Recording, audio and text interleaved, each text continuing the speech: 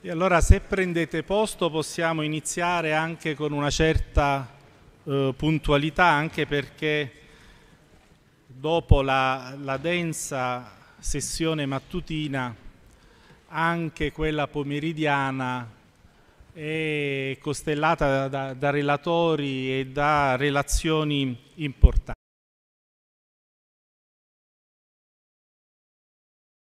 Ne discutevamo Anzi, mi piace ricordare quella sentenza della Corte Costituzionale perché fu scritta da un napoletano, da un maestro della cui amicizia ho avuto uh, l'onore di poterlo frequentare come Giuseppe Tesauro, il quale rispetto alle cause eh, di risarcimento per le vittime della Germania nazista, lui che, sta, che era stato avvocato generale della Corte di Giustizia, rispetto a quella sentenza della Corte internazionale di giustizia, non ebbe scrupoli ad invocare i controlimiti, cioè a dire quando si tratta di principi supremi della Costituzione e la Corte Costituzionale, il giudice delle leggi, non c'è limitazione alla sovranità nazionale che conti, che possa essere invocata quando parliamo di principi supremi. Poi c'è un seguito ma eh, il professore Chieffi eh, presiederà questa sessione e, e, e sicuramente ehm, è un tema che emergerà.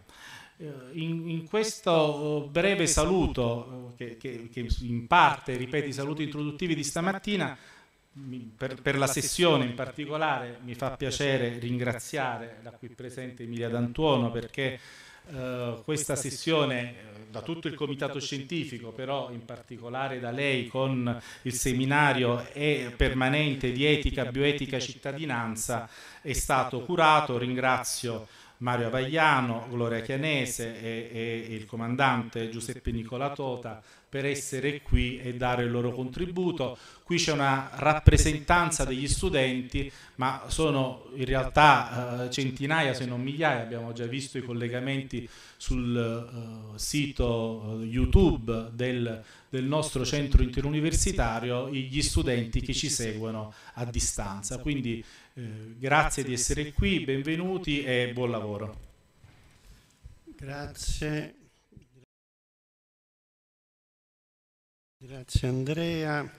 E allora diamo inizio a questa seconda sessione che prende spunto, come diceva Andrea Padrone Griffi, dalla vicenda che ha coinvolto gli internati militari italiani con questo acronimo IMI che voleva in qualche modo significare una restrizione e un internamento in campi di concentramento senza riconoscimento di prigionieri di guerra. La convenzione era quella di Ginevra del 29, ma che avrebbe impedito, per le garanzie che ne sarebbero derivate, ai tedeschi di utilizzare, come avvenne, anche per lavori forzati. Eh, eh, credo che sia utile ricordare che ne stiamo parlando perché la legge 211 del 2000, quella approvata per iniziativa di Furio Colombo e di altri, Palmizio e altri, ma soprattutto fu Furio Colombo, eh, nell'istituire il giorno della memoria, dedicata naturalmente al ricordo dello sterminio e della persecuzione del popolo ebraico, eh, ci tenne ad integrare, ad aggiungere questo ricordo anche per il sacrificio e l'eroismo dimostrato, dice espressamente la legge, dai deportati militari e politici italiani nei campi nazisti, che hanno subito la deportazione, la, la, eh, la prigionia e la morte. Nella stessa relazione di accompagnamento eh, era, eh, al progetto di legge era firma di Diego Novelli, che era il componente della Commissione permanente affari costituzionali, si sottolineava l'importanza di una legge che avrebbe consentito, cito espressamente, di avere memoria storica dei crimini nazisti in Europa e in Italia, insieme alle persecuzioni politiche, alla deportazione di tanti militari e civili che non si sono piegati. Quindi sicuramente a merito del CIRB, ma in particolare devo dire della collega Emilia D'Antona aver in qualche modo pensato, noi siamo credo alla dodicesima edizione, ci siamo rivolti in queste edizioni per il giorno di memoria soprattutto al ricordo doverosissimo della persecuzione degli ebrei, ma non avevamo prestato attenzione in passato a, a quest'altro eroismo, a quest'altro sacrificio che in qualche modo è una disattenzione. Noi avremo fra poco il professor Avagliano, di cui ho letto il libro e devo dire molto apprezzato, una disattenzione da parte della politica, eh, ma anche da parte dei giuristi. Andrea citava questa vicenda di cui parlerò però dopo, questa vicenda sui risarcimenti, e quindi aver dedicato un pomeriggio alla riflessione di questa vicenda è molto importante. Tra l'altro, visto che nostro, la nostra giornata è, di, è dedicata a questi eventi rispetto all'espressione artistica, stamattina si è parlato di Shoah e musica, Shoah letteratura e poesia, Shoah e fumetti, ma anche rispetto a questa vicenda io ho immaginato di avere qualche ricordo, ho cercato di trovare qualche ricordo su espressioni artistiche nella cinematografia, quindi nella settima arte. È inutile dire la settima arte su cui noi ci dedichiamo anche, io sono un giurista, ma ci dedichiamo molto come eh, espressione, una rappresentazione, diceva Italo Calvino, una lente di ingrandimento di, di fatti appartenenti alla vita reale, ai suoi protagonisti in modo da consentire una maggiore comprensione, ma anche la cinematografia sulla vicenda degli internati non ha dedicato molto spazio. Certo, non voglio rapportarlo alla vicenda della Shoah, su cui la filmografia, la cinematografia è molto, è molto ricca. Due titoli. Uno era un film di Comencini, tutti voi lo ricorderete, tutti a casa. Eh, Alberto Sordi, lo stesso De Filippo, Edoardo De Filippo, raccontava la storia di questo internato che riesce a sfuggire ai tedeschi e poi attraverso varie peripezie, i due suoi compagni Morio, arriva a Napoli e partecipa alle quattro giornate addirittura mitragliando i tedeschi. L'altro film invece che ricordavo, ricordavo molto bene è Cefalonia. Eh, Riccardo Milani, siamo nel 2005, il primo film è degli anni 60, 1960, invece Cefalonia nel 2005 c'erano notissimi eh, attori come Zingaretti, Laranieri, lo stesso Massimiliano Gallo, Mastrandrea, Mendola, che racconta invece proprio l'episodio della divisione Acqui, quindi il dopo 8 settembre, e ripercorre tutte le fasi di questa tragedia del sergente Saverio, che assiste a tutti i principali avvenimenti, dalla gioia di aver appreso dall'armistizio, annunciato da Badoglio per radio, la doccia fredda di dover decidere con quel sì e il no se accettare la proposta dei fascisti e dei nazisti, al referendum che viene indetto dal generale su questa scelta, eh, la mancanza di direttive da Roma che li lasciava quindi in, in una situazione di inconsapevolezza che cosa fare, dal rifiuto e quindi dall'eccidio degli ufficiali la resistenza fino a che eh, i tedeschi vanno via e rimangono alcuni superstiti. Ma al di là, direi, di, questa, eh, di queste episodiche rappresentazioni di questa sorte toccate agli imi, anche l'attenzione dedicata dalla politica è stata, soprattutto nel dopoguerra, è stata molto episodica. Ho cercato di leggere, di trarre nel, negli atti dell'Assemblea Costituente, io sono un costituzionalista, dove si è discusso molto della tragedia della Shoah. Eh, noi abbiamo dedicato diversi incontri all'articolo 32 della Costituzione. L'articolo 32 della Costituzione sul diritto alla salute vedeva come proponente Aldo Moro che aveva come immagine l'uso della medicina da parte dei medici nazisti, l'uso dell'essere umano come un oggetto, la reificazione dell'essere umano e quindi scrivere in Costituzione mai più quella medicina. La dignità della persona, il rispetto della persona umana, l'immagine che avevano i costituenti erano quello che era capitato durante la dominazione la, del, del, regime nazista e fascista con le leggi sulla razza del 38 e 39. Invece sugli internati ho trovato alcuni interventi. Eh, c'era il comunista eh, Paietta, eh, una democristiana degli Castelli e Francesco Severo Nitti, il quale però aveva sofferto nella sua famiglia, nella prima guerra mondiale, una analoga situazione per un figlio. E quindi lui ebbe parole di richiamo alla sorte dei militari alla, durante, eh, dopo, dopo l'armistizio. È un disinteresse da parte della politica che è stato protratto per molti anni. E fra poco ci sarà il professor Avagliano che ci parlerà anche dei, delle motivazioni di questo ritardo a che l'opinione pubblica si appropriasse di questo tema che si deve soprattutto alla storiografia, a questa memorialistica, a questi documenti che sono piano piano emersi da parte di alcuni protagonisti io, tra i libri che avevo nella mia biblioteca, avevo avuto il dono di, questo, di questa memoria di un uh, internato in Germania tra il 42 e il 45, Franco ingenito e spero che più tardi ci sarà un intervento del figlio che vive a Firenze, il quale racconta in questa memoria proprio le traversie, che, le sofferenze, ripercorrendo tutte le fasi,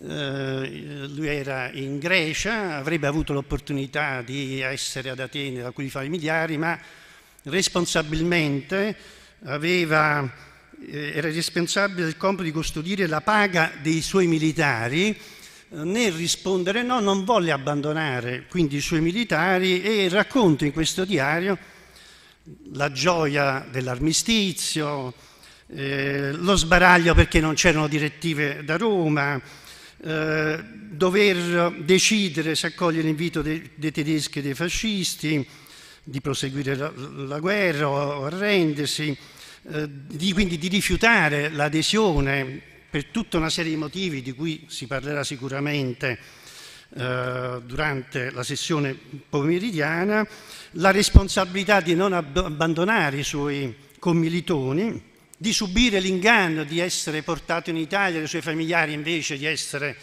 condotto quindi in Germania, di subire un lungo periodo di detenzione, ben due anni, e, e riuscendo uh, a salvarsi probabilmente anche per avere una minima conoscenza del tedesco, ma soprattutto saper fare i conti, per cui era nel secondo anno della prigionia utilizzato per fare i conti, fino a poi ritornare in Italia. Quindi è proprio la memorialistica, sono queste testimonianze che, stanno, che sono emerse con grandi ritardi, il professor Vagliano parla dagli anni 90 in poi, ad aver in qualche modo riattivato questa, questa memoria. Io mi fermo qui perché poi mi riservo per la parte giuridica che è stata accennata dal collega Patroni Griff di dirvi due parole perché è una vicenda interessantissima, io non la conoscevo, ma devo dire mi sono appassionato perché arriva fino ai nostri giorni, fino al decreto Draghi, che cerca ma non riesce di porre rimedio a questo diritto doveroso di risarcimento dei militari. Ma su questa storia mi riservo di dirlo successivamente. Invece eh, passo la parola alla professoressa Emilia D'Antuono, che è una professoressa che voi conoscete titolare della materia di filosofia morale presso l'Università di Napoli Federico II e che ancora una volta ringrazio per aver, aver avuto questa splendida idea perché eh, si è riuscita a, consentire al CID di completare quello che la legge che noi ogni anno ricordiamo del 2000 prevede, ma che noi abbiamo lasciato un po' in disparte, che invece abbiamo avuto il modo di recuperare quest'anno. Quindi cedo la parola ad Emiliano Antonio. Prego.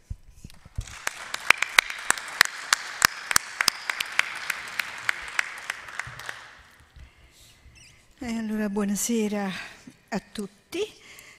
ringrazio tutti, comincio con il ringraziare il professore Chieffi, i ringraziamenti sono reciproci perché il professore Chieffi quando era direttore del CIRB ha voluto eh, un, il, che il CIRB prendesse in considerazione il giorno della memoria, etica, bioetica e cittadinanza lo faceva eh, che è un seminario permanente presso il Dipartimento di Scienze Sociali che mi onoro di coordinare con la professoressa Maturo, eh, dicevo, eh, ha voluto che eh, ci fosse questa collaborazione e che appunto insieme potessimo eh, riflettere, ecco perché di questo si tratta nel giorno della memoria, quindi un po' a lui dobbiamo eh, l'attivazione di questa iniziativa del CIRB e per quanto mi riguarda anche questo dialogo con etica, con etica bioetica e cittadinanza. E, ehm, ringrazio ovviamente i relatori, il professore Avagliano, eh, lo conoscerete da qui eh, ad un attimo, e io ho letto tante cose sue, è stato nostro ospite eh, no, sue, mh, mm, i suoi testi sono stati, eh, Voci da Leiger in particolare, stati esaminati nel corso di, una, uh, di, un giorno della memoria di qualche anno fa. Ringrazio la, la relatrice Gloria Chianese, naturalmente li sto citando secondo l'ordine nel loro intervento, e, eh, che è una uh, storica ed è una storica a cui io devo diciamo moltissimo sul piano delle conoscenze. Ecco, il, quando uh, uscimmo dai rifugi, il suo volume, i suoi saggi nella storia d'Italia di Einaudi, le sue le lunghe chiacchierate tra me e lei a telefono passeggiando nel bosco di Capodimonte in situazioni universitarie sono state, come dire, per me eh, una sorta di stella polare per orientarmi negli studi storici. Io eh, vengo dalla filosofia, eh, appunto ho insegnato filosofia morale tutta la vita ed etica e bioetica, lei è una storica, da sempre sono stata convinta che i filosofi senza la storia almanaccano, non ragionano e quindi la mia passione per la storia, la sua competenza e le sue metodologie mi hanno anche aiutato ad elaborare pensieri, se posso dire così.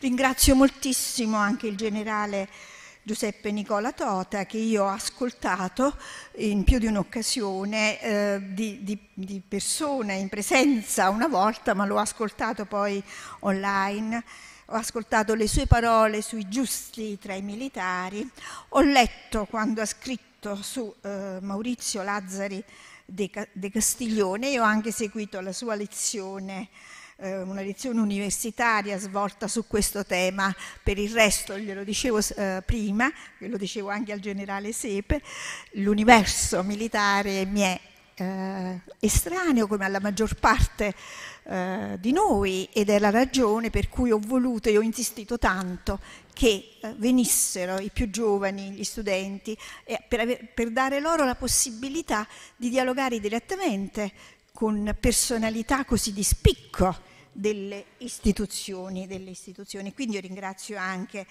il colonnello Giuseppe Stellato, che è il comandante della scuola militare Nunziatella, e devo dire che sono particolarmente felice di avere gli allievi, e fatemelo dire, le allieve, eh, fatemelo dire, significa qualcosa, che ci sono anche le allieve oggi.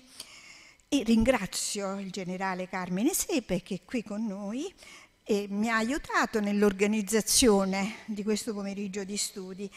E in più il generale Sepe ha interessi di carattere filosofico, viene da Nola, non è il Nolaner, lo dicevo stamattina, cioè Giordano Bruno, e lo dicevo sorridendo perché in Germania, quando leggevo il Nolaner, in un primo momento non capivo, tanti anni fa, eh, sono stata anch'io, non, non, non, ci sembra, ma sono stata anch'io ragazza come voi, e quindi studiavo in Germania e Der Nolaner mi, mi, mi sorprendeva e eh, e non riuscivo a identificarlo.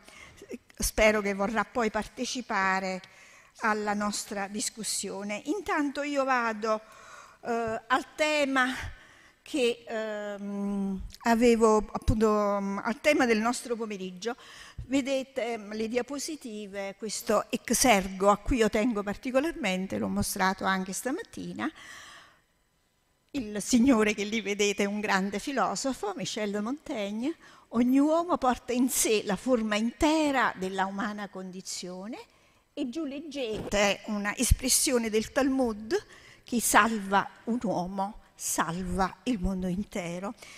Ma questo eh, dovete consentirlo alla mia vocazione, diciamo così, didattica, pedagogica. Eh, volevo, lo volevo comunicare soprattutto ai più giovani perché riflettessero sul senso eh, di queste frasi, dopodiché c'è un insieme di diapositive su cui possiamo andare veloce perché il lavoro che abbiamo fatto nel corso degli anni volevo che fosse un promemoria, CIRB e Etica e Bioetica e Cittadinanza insieme e invece la diapositiva che guardate sullo schermo fa riferimento alla lezione e poi alla discussione con gli studenti avuti il 19 dicembre c'è chi dice no, il giorno della memoria e le resistenze taciute. Ho portato per un verso l'appello del governo di Salò, per l'altro verso la risposta di un militare. Al posto della firma scrive un drastico, un drastico no e nella diapositiva successiva immagino che ci sia il riferimento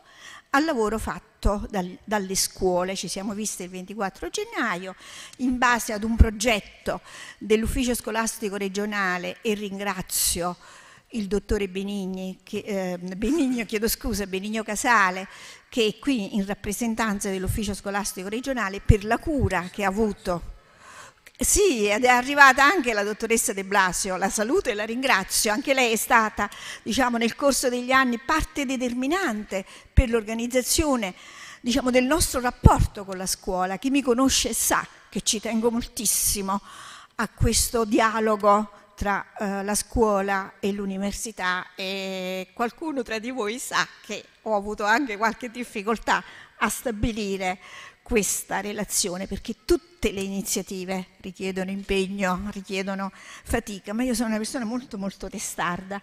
Le eh, diapositive successive ho fatto questa diapositiva perché mi sembrava che così era più facile indicare i vari temi di interesse. Sono opere d'arte, quelle che vedete in alto sono state fatte da IMI, cioè internati militari eh, di cui ormai i più giovani cominciano a, a sapere qualcosa e eh, il, c'è la copertina eh, Un canto salverà il mondo, questo volume, che è il volume di, eh, di Lotoro, un, uno studioso meridionale pugliese, che ha raccolto tantissimi documenti, eh, quindi musica scritta, che poi è stato possibile anche eh, suonare e eh, il,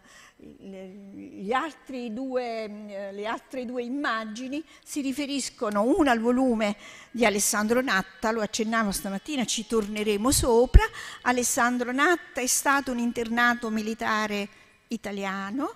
Alessandro Natta è stato il segretario del Partito Comunista Italiano, ha scritto un libro molto bello che negli anni 50 non è stato pubblicato dagli editori riuniti, lui ha spiegato, diciamo, con la solita grande solidarietà che riguardava quel gruppo che insomma c'erano difficoltà di programmazione, ma guarda caso a fine anni 90, dopo la caduta del muro di Berlino, questo libro è stato pubblicato e vi assicuro che è veramente molto bello è molto bello e ci sono eh, riferimenti a situazioni che davvero dovrebbero far riflettere tutti. Aveva già scritto ehm, eh, in passato, anche nella, nella storia d'Italia dei Naudi, un saggio sugli IMI, gli internati militari italiani, dando larghissimo spazio a Lazzati, che è stato il, il rettore dell'Università di Milano e che è stato tra i fondatori della democrazia cristiana, quindi come dire il riconoscimento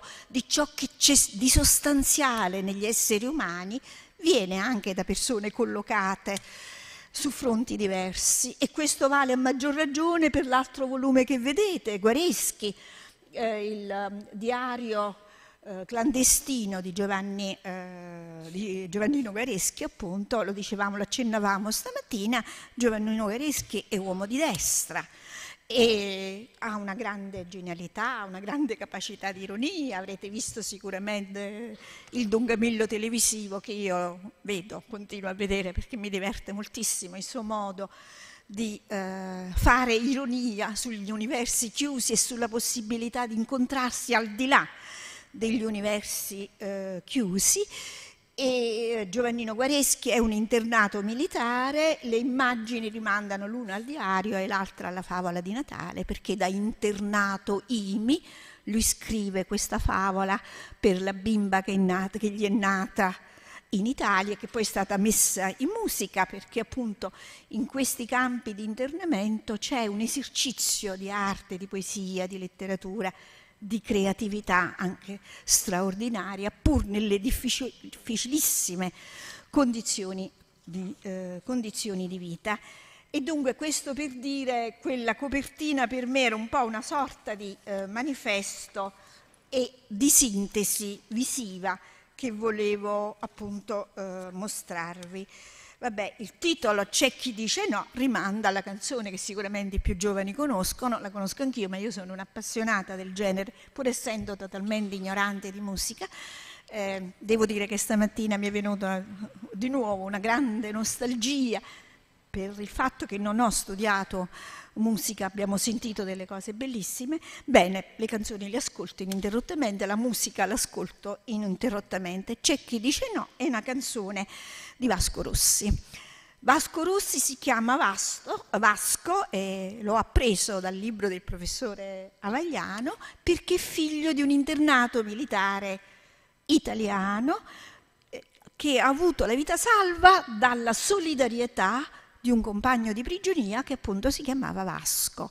Il, c'è chi dice no, non è direttamente riferibile alla vicenda degli IMI, ma io credo, e lo credo fermamente questo, che il no che segna il rifiuto di inumano e di disumano, e questo è il no degli IMI, eh, ci riporta direttamente alla lucidità della loro coscienza in un momento particolarmente particolarmente difficile. È vero, il male è sempre coperto dall'ombra, lo vuole la tradizione, ma in questa situazione di tenebre eh, e di, eh, come dire, di difficoltà, eh, i, alcuni, tantissimi, 650.000, 600.000 militari italiani ebbero lucidità di giudizio. L'immagine che vedete riguarda la prima pagina di un giornale, appunto vi spiega, spiega ai più giovani naturalmente l'ambiguità. La guerra è finita, ma di fatto poi la guerra, come sapete, non finisce. L'immagine successiva rimanda ad un altro volume, perché ho pensato che la cosa migliore per rendervi, come dire, eh, viva questa vicenda era anche un po' indicarvi attraverso immagini i libri che l'affrontano, la straziante incertezza, la straziante incertezza.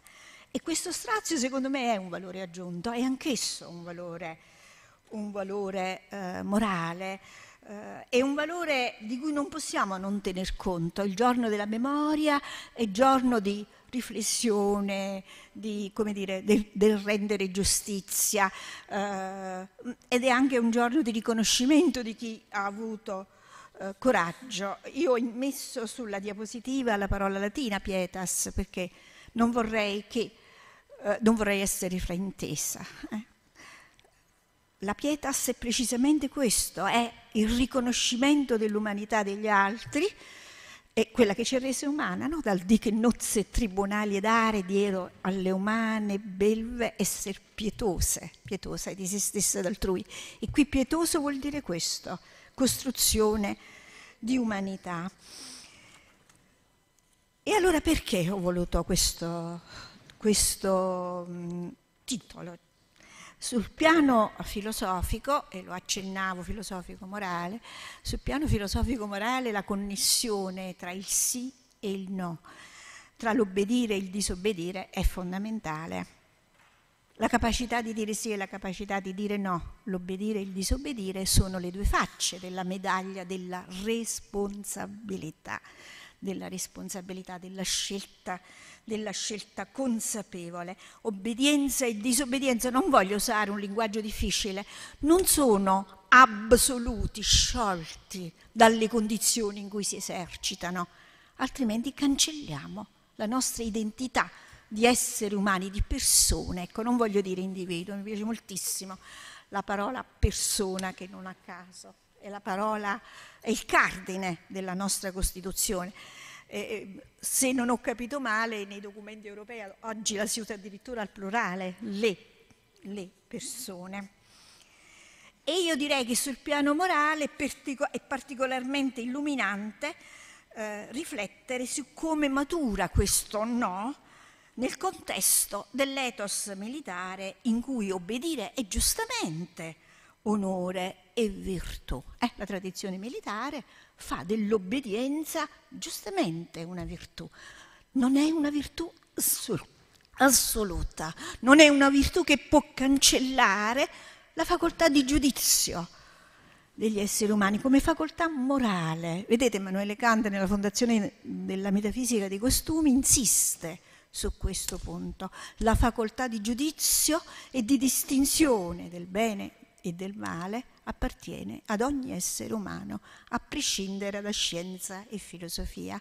Posso sapere che cosa devo fare per essere uomo, lui dice, in quanto ho la facoltà di giudizio. Io trovo particolarmente illuminante le motivazioni del no che i documenti raccolti dal professore eh, Avagliano ci, ci, mostrano ed è un tema su cui sono tornati gli storici, i filosofi, gli storici militari, perché il tema è stato molto preso in considerazione da, anche dagli storici militari. Tra le altre cose è il volume di eh, un tedesco, eh, Schreiber, se mi ricordo bene in questo momento, scusate ma a quest'ora sono un po' stanca, non ho la vostra età, e eh, dicevo, è un tema molto, eh, molto, studiato questo delle motivazioni, delle motivazioni, delle motivazioni individuali, delle motivazioni che maturano in un contesto.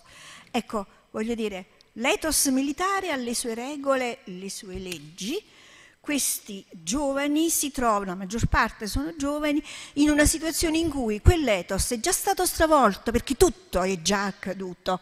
La guerra totale, le stragi, gli stermini.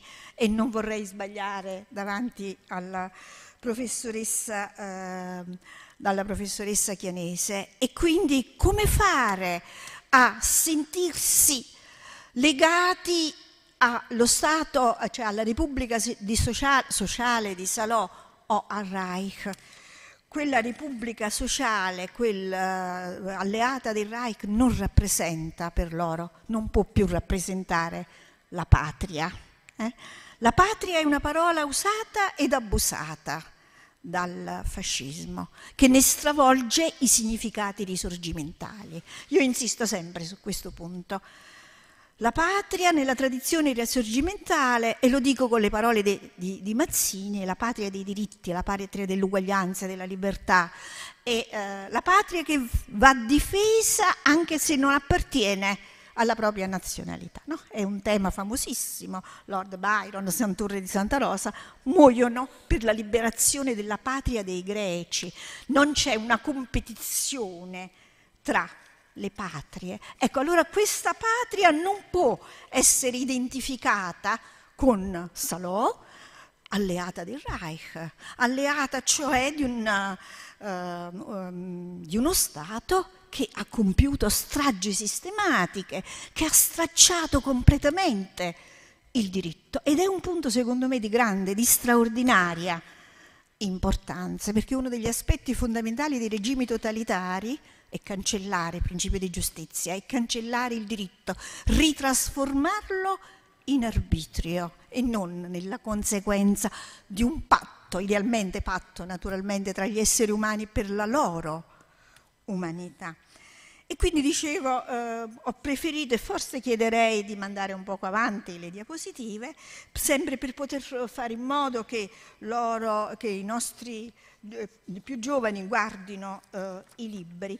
E tra le diapositive io avevo inserito un'immagine del Nabucco di Verdi perché il Nabucco viene rappresentato da questi, eh, da questi militari eh, e eh, ci sono le memorie della nostalgia di questa patria, ma quale patria? Ecco, anche quello è un grande tema, ma la patria bella e perduta per loro è la patria risorgimentale, non è certo la patria della Repubblica Sociale di Salò e lo dicevo, anche la musica esprime questa nozione di universalità, no?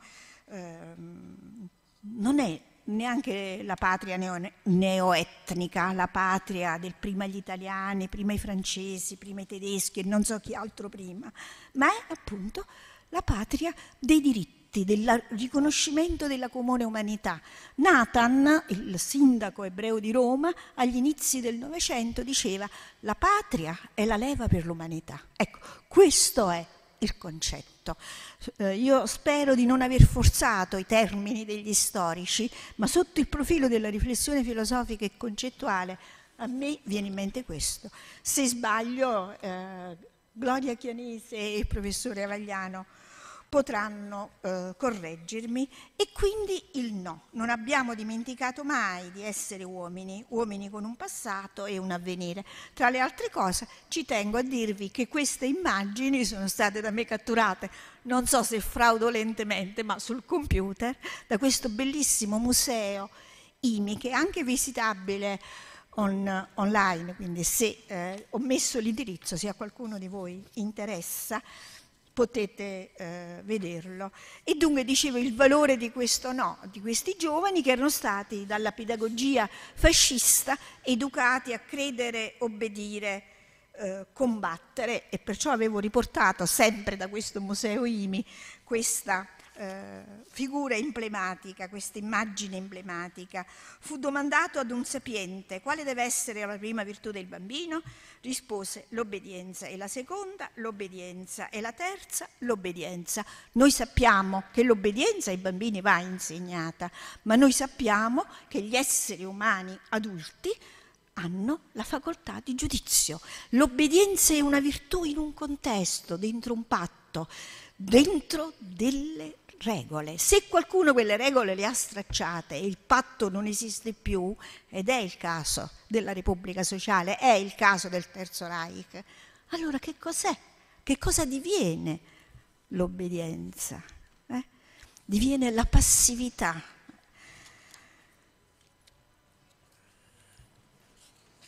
E io vado un pochino più veloce perché ho raccomandato anche al professore Chieffi di ricordarmi i tempi quando presa, sì, e allora andiamo un poco poco più eh, veloci. Allora, ehm, dicevo il no dei eh, militari italiani eh, che avevano sempre ovviamente obbedito e ora invece obbediscono. Ecco, al patto che qualcuno, Salò e il Reich, avevano già stracciato. Questo no si ripete, anche le immagini qui sono del museo, noi non vogliamo, non dobbiamo, non possiamo riconoscere il governo Mussolini. Eh, dicevo, questo no è, mm, dire, ha un grande senso sul piano morale, perché? Agli IMI che via via sottoposti a vessazione, fame, tortura, eccetera, eccetera, avessero, come dire, abbiurato al loro no e avessero detto sì, era consentito poi tornare in patria. Vabbè, c'erano anche degli inganni, naturalmente, ce lo spiegheranno gli storici. Ed è, eh, come dire, da qualche parte ho letto un caso unico, un caso unico, ma non è così, non è in realtà un caso unico, ce n'è un altro di caso, di internati destinati allo sterminio che dicono no e sono, a proposito di memorie dimenticate e taciute, i testimoni di Geova. Eh? I testimoni di Geova vengono sottoposti a torture terribili perché dicono no, loro obbediscono solo a Dio. E Hitler non può mettersi al posto di Dio, le donne rifiutano di cucire le uniformi e naturalmente i nazisti si accaniscono perché sperano che con le torture li convincono in larga parte moriranno. Ecco, lì è un problema di fede, di fedeltà, diciamo così. Qui è un problema di lealtà ad un ideale che aveva però alle sue spalle un patto. eh, che era il patto dell'umanità, il patto delle istituzioni. Istituzioni, lo ripeto, che si erano date delle regole. Esistono dei codici militari, esiste un ethos militare. Leggevo a proposito di eh, Lazzaro De Castiglioni, nell'ethos del militare c'è la difesa dei deboli. Quindi c'è tutta un'etica dietro queste decisioni. Eh, un'etica che non necessariamente sta nei libri scritti, stava evidentemente negli esempi e nelle azioni precedenti. E eh, dunque, quindi questo no è forte e reiterato. Ce n'è un secondo ed è il no alla riduzione a lavoratori, quindi un portarli allo stato civile. E qui veramente la pagina di, riportata dal professore Avagliano è emozionante. Dicono no malgrado la propaganda provi ad ingannarli in Italia. Anzi c'è una lettera di qualcuno che scrive alla moglie dicendo non farti ingannare, dicono così in Italia, ma così non è. E la frase che ho voluto riportarvi, soldati siamo stati catturati, soldati siamo trattenuti con la forza, soldati vogliamo un giorno tornare in patria. Ecco, confesso che questo davvero, davvero eh, mi commuove. La ferma decisione è no, dice, eh, riporta in un'altra pagina il professore Avagliano, no con l'accento sulla O. E devo dire che questa, la lettura di questo libro e di altre testimonianze mi ha emozionata anche per questo. Molto spesso sono giovani, chissà, forse hanno fatto solo le elementari, naturalmente non gli ufficiali, scrivono correttamente in italiano. Questi giovani sono giovani di quell'umile Italia, mi verrebbe da dire, per usare un'espressione dantesca eh, eh, ad altro proposito, che appunto non sono andati a scuola. Però, ecco, loro le persone non acculturate, gli ufficiali, sì, hanno una lingua comune. Eh, forse c'è una grammatica violata, non importa. Quello che importa è questa grammatica che è la grammatica dell'anima, della morale, della decisione, della scelta, della coscienza, appunto, e quella è comune.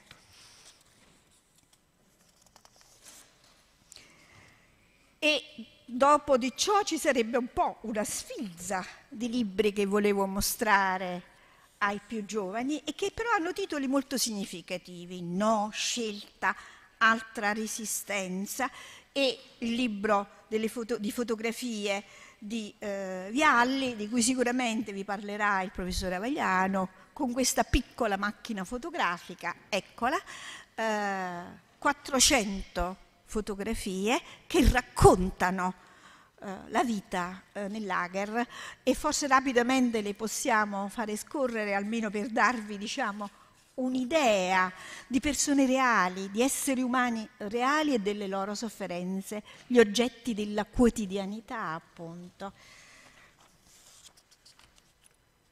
Ecco, questa è una macchina da scrivere e invece l'altra immagine, quella successiva, ricorda come dire, un episodio mitico. Naturalmente nell'esercito io non conosco la denominazione precisa, ma ci sono delle persone addette alla trasmissione, no? so, i trasmettitori, marconisti, non so come si dice, ma insomma persone capaci con robe d'accatto costruiscono Radio Caterina, Radio Caterina, la mitica Radio Caterina che riesce addirittura a comunicare eh, lo sbarco in Normandia e eh, naturalmente sotto minaccia di morte perché, perché così, perché era vietatissimo e la pena era eh, morire. Le immagini fanno riferimento alla, al, a, queste, a queste radio. Sì, mi fermo. Sì. Di già? Allora, benissimo, c'è un simpatico racconto, le diapositive ci resteranno, che è quella di Luigi Grigoletto, il, cappuccino, che salva gli IMI che sono stati, come dire, colti in fallo dai nazisti, perché sono entrati nel reparto per controllare, e nasconde tra le gambe la radio e va via e li salva tutti e li salva tutti. Dunque il tema delle, eh, per noi importante è quello delle memorie taciute, delle memorie dimenticate, lo dicevamo anche stamattina, no? in fondo un filo conduttore di questi anni, lo accennava anche il professore, eh, prima sono eh, le memorie non considerate e ehm, io volevo ricordare ai più giovani che eh, con le pagine di questo libro molto bello, secondo me, di Emanuele Fiano, Il profumo di mio padre, che la memoria è il ragionamento. Eh? La, solo se è anche ragionamento, oltre tutte le emozioni che io stessa oggi eh, ho provato, è costruttrice eh, di altro. E ancora qualche volume eh, degli eroi di Unterlius, vi parlerà sicuramente il professore, eh, e così del, del, volume di Alessandro Natta e del diario di clandestino di, eh, di eh, Guareschi. Ma ripeto, siccome ve le lascio le, le, diapositive, volevo darvi come dire un indice che fosse un input. E un'ultima cosa voglio dirvi sulle, eh, sulle memorie difficili, e questo me la dovete far dire è che eh, diciamo delle memorie difficili. La prima ad avere cognizione è stata Napoli con la Napoli milionaria di Edoardo De Filippo, che è stata scritta nel 1945, quando la liberazione non era ancora compiuta. E qui ci sono tutti e due i temi. Parla il povero Gennaro e nessuno lo sente, nessuno gli dà ascolto ed è l'incubo che tormenta Primo Levi e tutti i, i testimoni. Tra le altre cose, Primo Levi aveva visto il suo libro eh, Se questo è un uomo respinto da Inaudi, l'aveva pubblicato con De Silva, però quando nel 1954, credo, arriva alle Inaudi come eh, consulente per la scienza, il primo libro che compra è La Napoli milionaria di Edoardo, che è, ripeto, celebre per questo, e poi per l'altra frase che però non commento, non commento, eh, era ebreo o povero cristiano. Mi sono, mh, mm, come dire, eh, ho fatto questo gesto di tradurre il, in italiano il pezzo di Edoardo Di Filippo che non è traducibile, è bellissimo nella sua lingua e ho portato sulle diapositive le immagini d'epoca della Napoli milionaria di Edoardo, che per me è il vertice della, uh, della memoria possibile, della riflessione, della trasmissione di valori fondamentali. Allora, Gennaro uh, Iovine, che è il personaggio di Napoli milionaria, non è un internato militare italiano, lo è invece Raffaele Berchalier, di cui vedete, avete visto prima l'immagine, dopo non so, eh, eh, lo, scenografo, lo, scenografo, di Edoardo è un internato militare italiano che poi ha dipinto eh, tante tele ehm, importanti e quindi ci tenevo particolarmente a ricordarvelo e eh, per il resto che cosa posso dirvi? Il no all'oblio lo diranno con forza i nostri eh, relatori. Ho voluto riportare qui immagini dei volumi di Mario Avagliano, immagini non di tutti i volumi e di tutti i testi di eh, Gloria Chianese, perché voi ne, possate, ne possiate prendere nota e eh, leggerlo. E eh, infine eh, un, questo passaggio fondamentale sui giusti che invece ci darà il comandante Giuseppe Nicola Tota, vi dicevo prima, che l'ho già ascoltato in altre occasioni e eh, mi piaceva molto questo tema che l'onore militare imponeva a, um, eh, al Maurizio Lazzaro dei Castiglioni tu- di tutelare i più deboli, ma la storia di eh, Giuseppe Nicol- eh, eh, scusatemi, di, di Maurizio sì, eh, Lazzaro dei Castiglioni ce la racconterà infinite volte meglio di come potrei fare io, il uh, comandante Tota, che davvero ringrazio molto molto di cuore anche per la sua attenzione al tema, al tema dei giusti. Eh, è il tema che ci serve in realtà in ogni momento e oggi, più che mai, oggi al nostro tavolo abbiamo il terribile convitato di pietra del nostro presente che è la guerra in Europa e quindi eh, come dire, riflettere sui giusti può essere appunto la stella polare che ci aiuta ad uscire da una situazione così terribile. Grazie.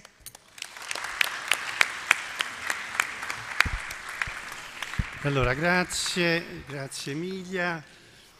Credo che come punto di congiunzione con la seconda relazione del professor Mario Avagliano, che ci parlerà di militari italiani e lager nazisti, una resistenza senza armi, credo che il punto di congiunzione tra il filosofo e lo storico è la resistenza, il diritto di resistenza.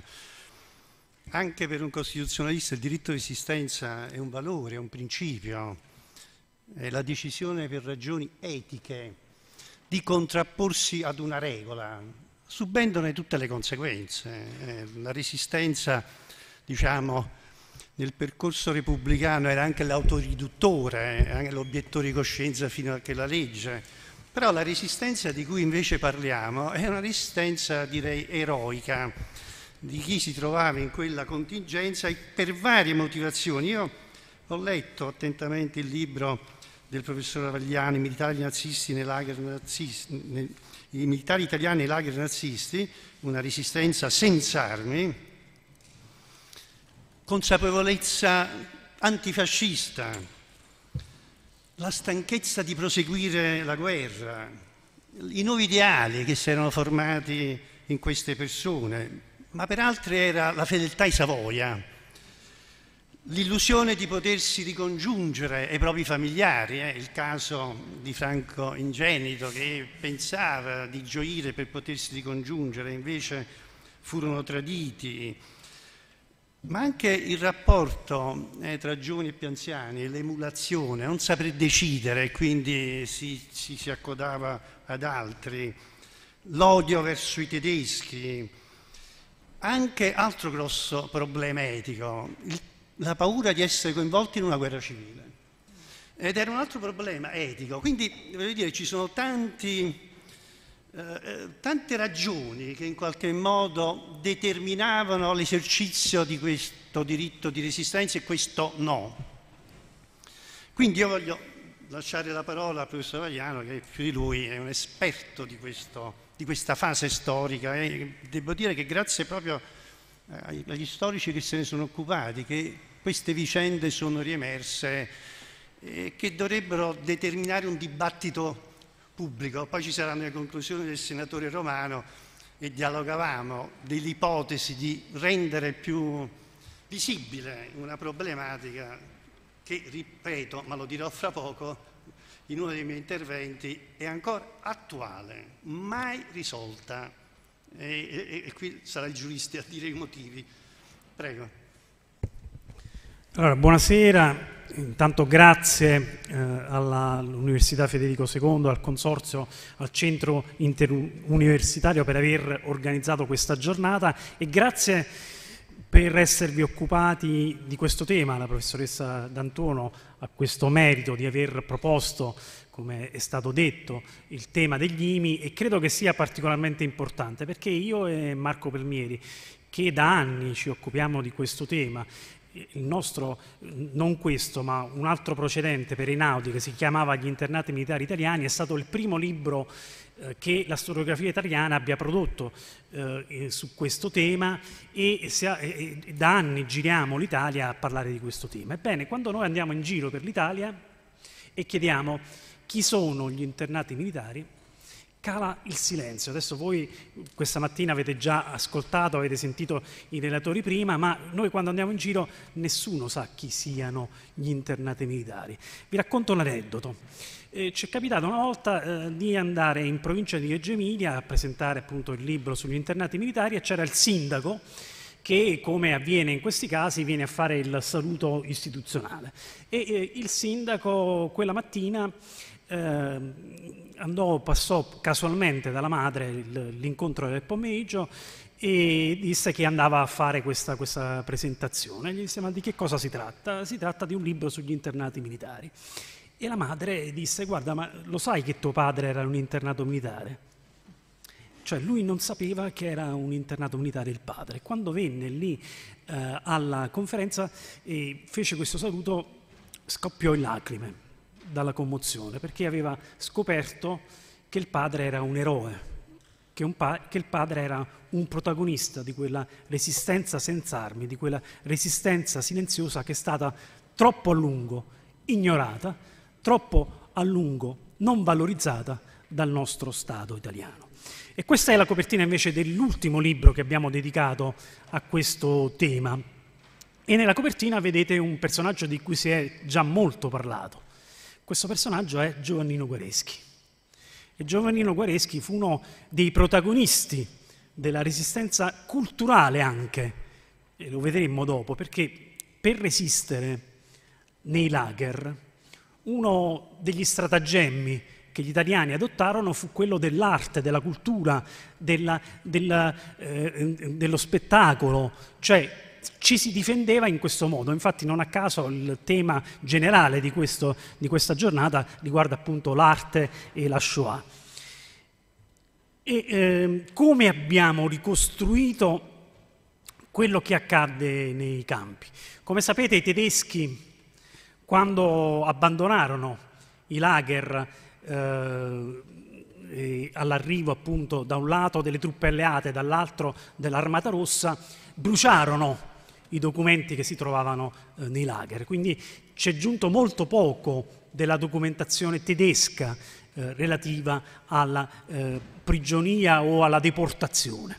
E quindi una fonte fondamentale per ricostruire eh, quello, quello, che è accaduto sono da un lato le testimonianze, soprattutto per quanto riguarda la deportazione eh, degli ebrei, eh, e dall'altro per quanto riguarda gli internati militari tutti questi, eh, questi documenti che vedete qui elencati, la corrispondenza diari degli internati, i rapporti della censura, perché come sapete la corrispondenza degli italiani era sottoposta a un rigido controllo.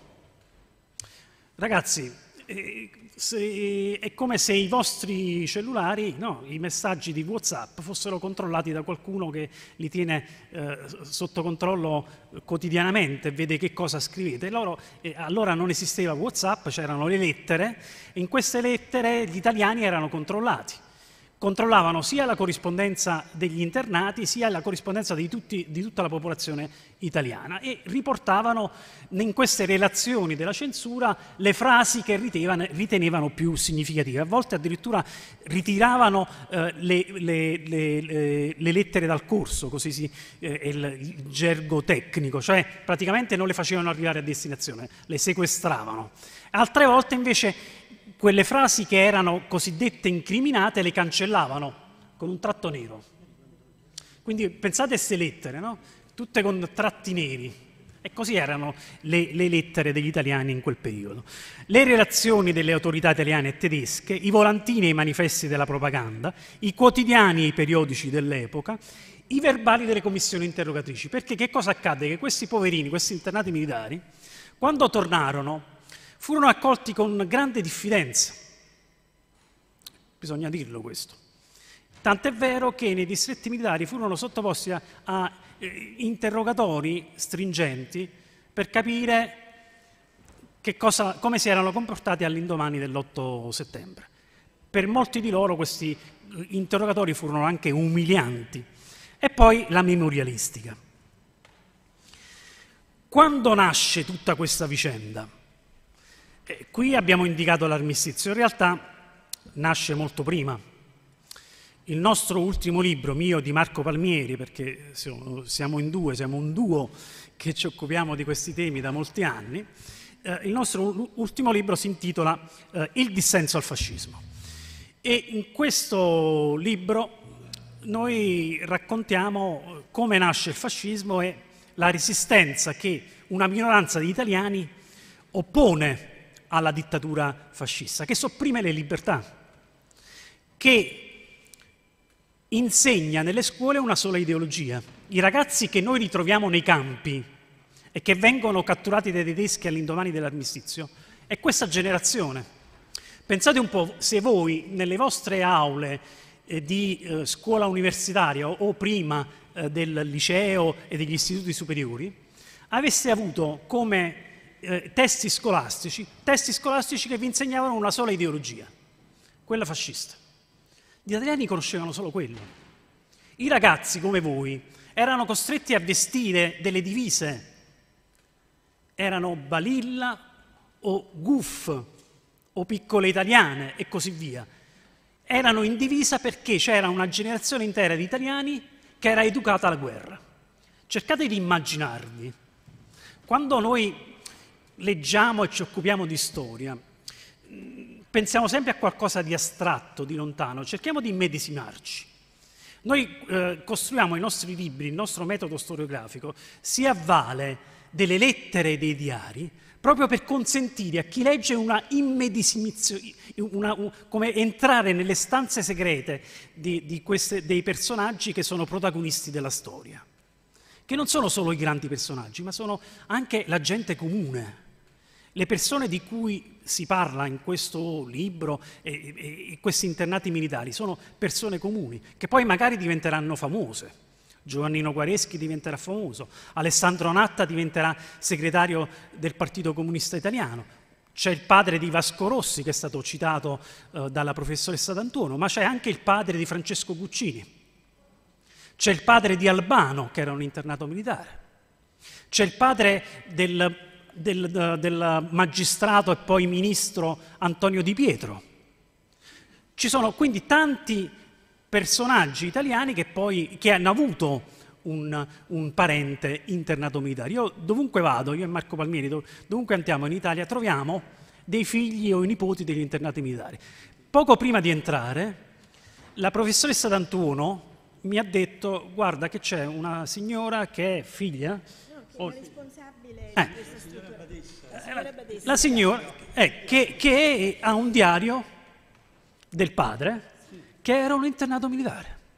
È una cosa straordinaria. Pensate, andate a vedere nelle vostre case, interrogate i vostri nonni o chi conosce la, la, la storia dei, dei, dei, vostri parenti e vedrete che sicuramente troverete qualche internato militare.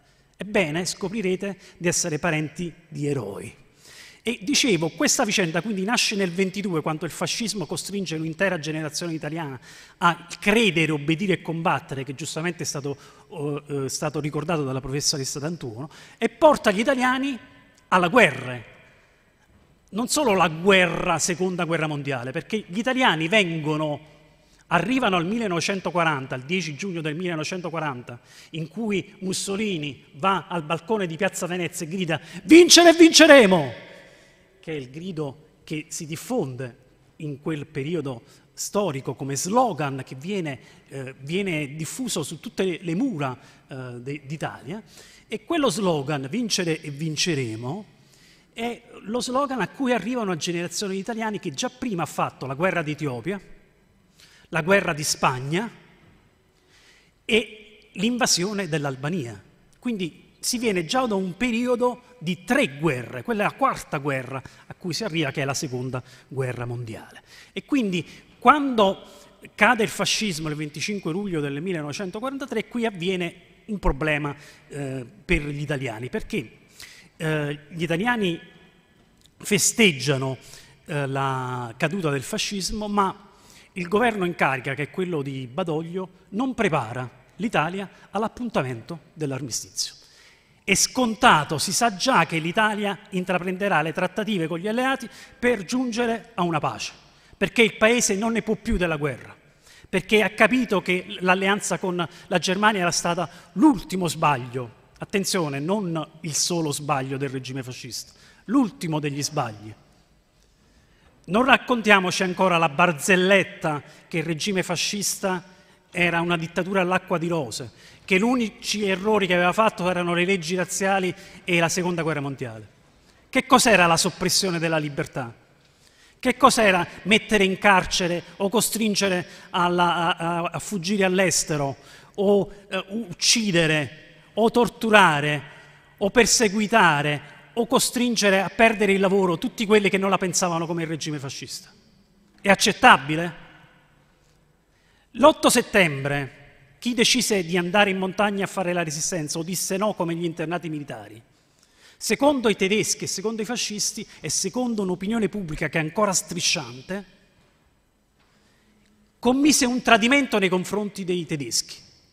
Ma il tradimento non era avvenuto prima con la dittatura? Ma il tradimento non era avvenuto prima con la soppressione della libertà? Il vero tradimento era quello Invece l'8 settembre, come è stato detto dal Presidente Ciampi, fu il momento del riscatto nazionale. il momento in cui tanti militari, tanti italiani, tante italiane decisero che quella fase si doveva chiudere, che si doveva tornare alla libertà, alla democrazia. Finiamola con questa retorica del tradimento, con questa retorica della dittatura all'acqua di rose. Dobbiamo veramente fare una svolta dal punto di vista dell'opinione pubblica e del giudizio storiografico su questo periodo della nostra storia. Quindi dicevo che l'Italia giunge l'8 settembre in modo impreparato, perché i tedeschi invece già a fine luglio decidono una strategia precisa che è il piano Axe. Questo piano Axe che cosa prevede? Uno, la liberazione di Mussolini. Due, l'instaurazione di un governo fascista in tutta l'Italia occupata dai tedeschi, che è l'Italia centro-settentrionale, in cui doveva essere compresa anche Napoli. Non avevano previsto che i napolitani si sarebbero ribellati. E questo lo raccontiamo in un altro libro che è Paesà, Shusha e Signorine. E dicevo, eh, non avevano previsto che poi la ribellione dei napoletani avrebbe salvato gli ebrei, perché i tedeschi avevano già preparato il rastrellamento a Napoli. Quindi ci sono tanti, tanti fatti importanti da sottolineare. E dicevo, due, l'instaurazione del governo fascista, tre, di catturare tutti gli italiani in armi, cioè i soldati, sui vari fronti di guerra e costringerli o a decidere a combattere eh, con i tedeschi oppure andare in prigionia nei campi di concentramento ed essere utilizzati come forza lavoro al servizio della fabbrica di guerra tedesca. Attenzione, all'inizio non esisteva la Repubblica Sociale, cioè all'indomani dell'8 settembre la Repubblica Sociale non c'era ancora. Mussolini viene liberato il 12 settembre, la Repubblica Sociale entra in funzione a fine settembre. Quindi la richiesta d'adesione all'inizio non avviene all'esercito della Repubblica Sociale, ma all'SS oppure alla Wehrmacht, alla Wehrmacht all'esercito tedesco. Quindi la prima richiesta d'adesione avviene queste unità. E infatti c'è qualche decina di migliaia di italiani che aderisce, non bisogna nascondere anche questo fenomeno. La maggior parte, la maggioranza di, degli italiani che vengono catturati dice no, però c'è anche una minoranza che aderisce.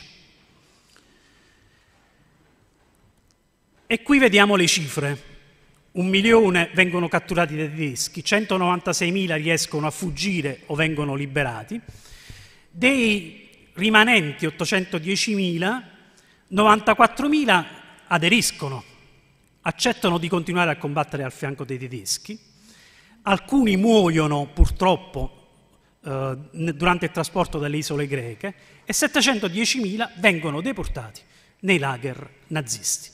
E qui inizia già la deportazione vera e propria, cioè entrano già nel cono d'ombra della deportazione gli internati militari, con questi viaggi terribili in questi vagoni bestiame in cui vengono trattati appunto come bestie, perché vengono rinchiusi in questi vagoni per giorni e giorni senza possibilità di poter espletare i propri bisogni, perché non hanno, eh, non hanno cibo a sufficienza e quindi sono in condizioni davvero eh, miserevoli. E qui si verifica, e qui ci sono tante ragazze, un fenomeno bellissimo che è poco conosciuto, e cioè la resistenza delle donne. Le donne vanno alle stazioni eh, dove passano queste tradotte eh, degli internati militari e raccolgono le loro lettere, i loro biglietti e, da, danno loro del cibo. In queste lettere e questi biglietti la, c'è la notizia per i familiari che sono stati catturati dai tedeschi e stanno, che li stanno conducendo nei lager nazisti. Perché la direttiva che i tedeschi avevano dato che tradotta in italiano è notte e nebbia, e far sparire nella notte e nella nebbia il destino dei soldati dei deportati. Quindi la resistenza delle donne è fondamentale perché raccogliere questi bigliettini e inviarli con delle lettere di accompagnamento ai familiari degli internati militari permette alle famiglie di sapere qual era il destino dei loro cari. Quindi una pagina bellissima di resistenza che è poco conosciuta. E qui vedete eh, uno di questi biglietti. Siamo stati fatti prigionieri, vedete, no? E qui c'è una testimonianza di Lino Monchieri come bestie da macello siamo stati caricati a forza su carri bestiame. Gettiamo biglietti fuori dal convoglio sperando che qualche anima buona li raccolga per farvi giungere nostre notizie. L'arrivo nei lager e qui inizia per eh, gli internati militari il processo di spersonalizzazione che è tipica della vicenda dei lager. Non sono più delle persone, ma sono dei numeri. E devono, attenzione, devono imparare a memoria in tedesco il numero di matricola, perché i tedeschi non li chiamano con il nome e cognome, ma li chiamano col numero di matricola in tedesco.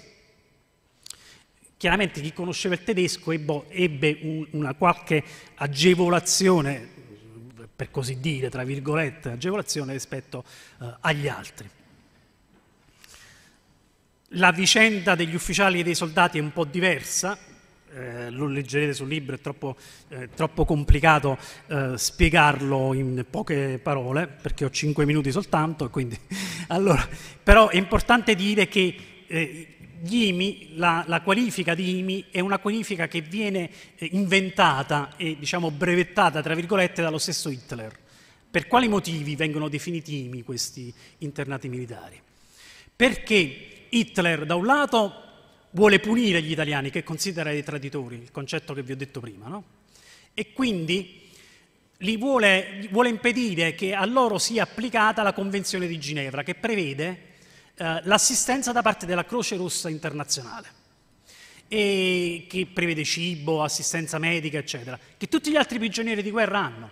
Solo gli italiani non avranno. In più, la Convenzione di Ginevra prevede il divieto di lavoro forzato e quindi gli italiani, essendo classificati come internati militari, non hanno assistenza della Croce Rossa e sono costretti ai lavori forzati. In più, eh, Hitler ha anche la scusa di dire trattengo questi, queste persone, ma non sono prigionieri di guerra, sono internati militari. In realtà è una finzione, è molto peggio dei prigionieri eh, di guerra. Infatti Natta dice siamo una via di mezzo tra il prigioniero di guerra e il perseguitato politico l'abbiamo detto, della Repubblica Sociale, e i campi degli internati militari non si trovano solo in Germania, ma in Polonia, in Cecoslovacchia. Anche, molti di loro sono trattenuti anche nella penisola balcanica, in Austria e così via. Qui vedete alcune immagini di Vittorio Vialli, il quale riuscì a, a realizzare queste immagini con quella macchina fotografica che smontò in mille pezzi e poi rimontò per, per sottrarla al sequestro da parte eh, dei tedeschi. Altre immagini, la fame, la fame è davvero uno eh, dei punti cruciali delle lettere, dei diari degli internati militari che avevano una sbobba immangiabile, che era una brodaglia dove c'era qualche rapa e soprattutto terra. Eh, tant'è vero che ci sono due ufficiali molisani che fanno, scrivono un libro con tutti i disegni di ricette e si forma una fila lunghissima davanti a questa baracca. Immaginatevi, no? una fila di persone davanti a questa baracca che vogliono vedere questo, questo libro, almeno per immaginare dei piatti che si ricordano soltanto nella loro mente. E infatti c'è un prigioniero di guerra, un, un internato militare, che racconta che eh, all'inizio sognava le donne nei suoi sogni notturni e poi comincia a sognare le tagliatelle. Gli appelli gli appelli interminabili al gelo, molti di, di, di, questi militari morirono durante questi appelli, il lavoro coatto che era durissimo, la posta che è importantissima perché eh, e qui c'è una nuova discriminazione tra nord e sud, involontaria, però eh, gli internati di origine meridionale non riuscivano a corrispondere con, con eh, i propri cari perché l'Italia del sud era liberata e quindi i tedeschi e i fascisti non consentivano alla posta del sud di arrivare eh, in Germania. La propaganda di Salò che cerca di arruolare lo, eh, questi soldati la scelta di resistenza, le motivazioni, se ne è parlato abbastanza eh, da parte dei precedenti relatori, eh, eh, Qui vedete alcune delle frasi che eh, dimostrano eh, la consapevolezza anche eh, del no eh, dei, eh, degli internati militari, la resistenza culturale. Organizzarono biblioteche, spettacoli teatrali, concerti, corsi scolastici e così via. E uno dei protagonisti fu appunto, eh, vedete, eh, Giovannino Guareschi insieme a un napoletano, Arturo Coppola, grande compositore, e scrissero insieme eh, appunto per esempio eh, la, eh, la, canzone Carlotta che era dedicata alla figlia eh, di Giovannino Guareschi che lui non aveva fatto in tempo a conoscere, era nata dopo che lui era stato fatto prigioniero. Eh, la resistenza della fede, perché alcuni furono animati anche dalla fede nel resistere uh, alle, alle, brutture e, e l'orrore della prigionia nazista. Le radio clandestine, ve ne ha parlato la professoressa D'Antuono, la scelta degli optanti, perché ci fu una minoranza che decise di, dec- di aderire, anche spesso eh, per il ricatto della fame. Pensate un po' che cosa facevano i tedeschi. Mettevano i campi di coloro che aderivano accanto ai campi di coloro che dicevano no. E così coloro che dicevano no guardavano i loro compagni che avevano aderito, che mangiavano, che avevano, che avevano i, i, la divisa invernale, perché questi poveri soldati furono, furono, catturati con la divisa estiva, era l'8 settembre, avevano ancora la divisa estiva. Abbiamo qui tanti illustri ufficiali e, e, e militari e sanno bene che c'è una differenza notevole. E quindi con questa divisa estiva era difficilissimo resistere ai rigori del freddo eh, dei lager eh, nazisti. E arriviamo finalmente alla liberazione. Qui vedete Michele Montagano. Michele Montagano è un internato militare ancora vivente, ha compiuto 101 anni e scrive alla madre eh, il 16 maggio del 1945 sono finalmente libero. Ho fatto quanto era mio dovere di soldato ed italiano. Sono fiero della prova che ho sostenuto e dell'esempio che ho dato.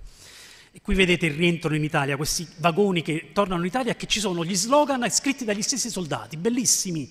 Viva casa mia! È uno slogan bellissimo, magri perché tornarono davvero deperiti, ma sani. E però al ritorno italiano, eh, in Italia c'è l'amarezza del rientro, perché, e lo leggete in questa testimonianza bellissima, in questa pagina di diario, tutto è cambiato. Non riesco più a ritrovare l'atmosfera della prima giovinezza. Mi sento un estraneo nelle compagnie di ragazzi ex partigiani che si ritrovano fra loro a parlare di cose che non ho vissuto. Nessuno è disposto a considerare la mia storia, come Gennaro Iovine.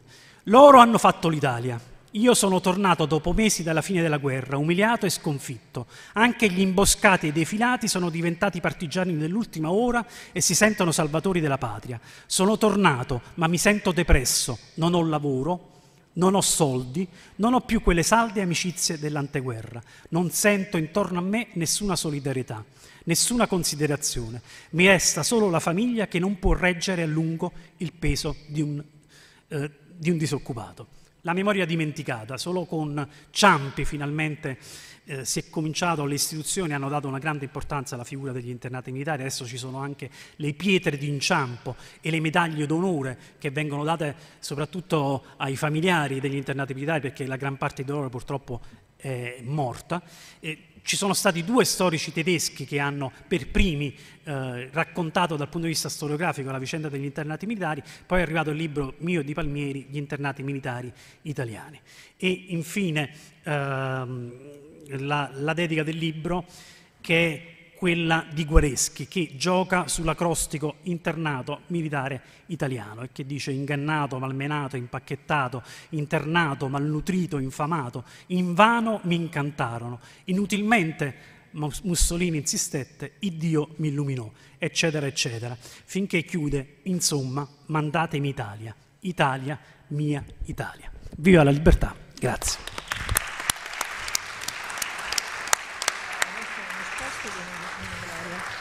E allora grazie al professor Avagliano. Eh, l'altra resistenza, in effetti nell'immaginario collettivo, ma anche da parte del, delle forze politiche, la resistenza era una. Cioè, noi certo, abbiamo sempre in qualche modo la Costituzione nata dalla resistenza.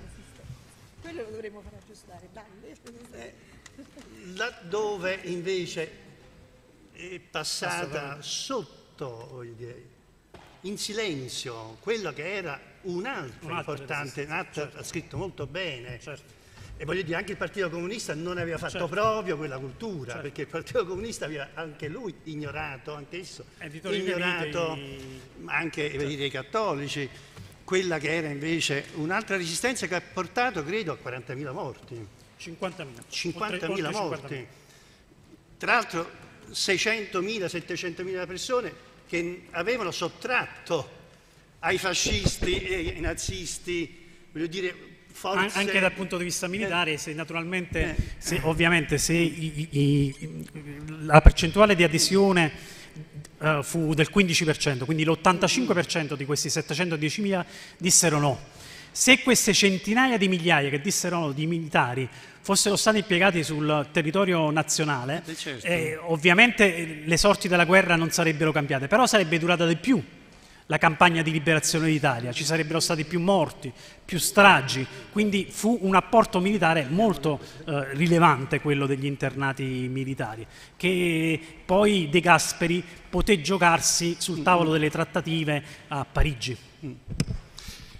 E allora io lascio la parola alla professoressa Gloria Chianese della Fondazione di Vittorio che ci parlerà della resistenza patriottica tra memoria memoria ed oblio. Prego. Allora, ehm, intanto devo organizzarmi con la voce perché in genere... Dunque, eh, ringrazio anch'io tutti gli organizzatori del convegno e faccio un particolare saluto, se mi consentite, agli studenti che sono in sala, alle studentesse e agli studenti che sono in sala a cui eh, vorrei proporre nel mio intervento oh, delle considerazioni perché mh, mm, a me tocca un compito un po' diverso, cioè quello lì di parlare della resistenza patriottica. Allora, in questo caso non devo mm, parlare hanno già i relatori che mi hanno preceduto, hanno egregiamente svolto il discorso della resistenza senza armi, patriottissima, se possiamo usare questo termine. A me tocca un pochino il compito di eh, soffermarmi sulla resistenza dei militari armata, quindi non senza armi, ma armata che fu un elemento estremamente importante della uh, situazione. E uh, questa forma di resistenza patriottica in generale eh, viene fuori da un concetto di resistenza plurale.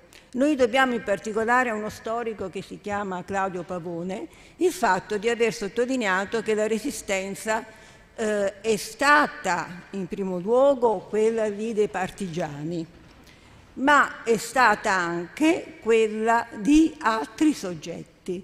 Se ne sono stati citati diversi nei, negli interventi che mi hanno preceduto. La resistenza delle donne, la resistenza degli IMI e altre che man mano cercherò di sottolineare.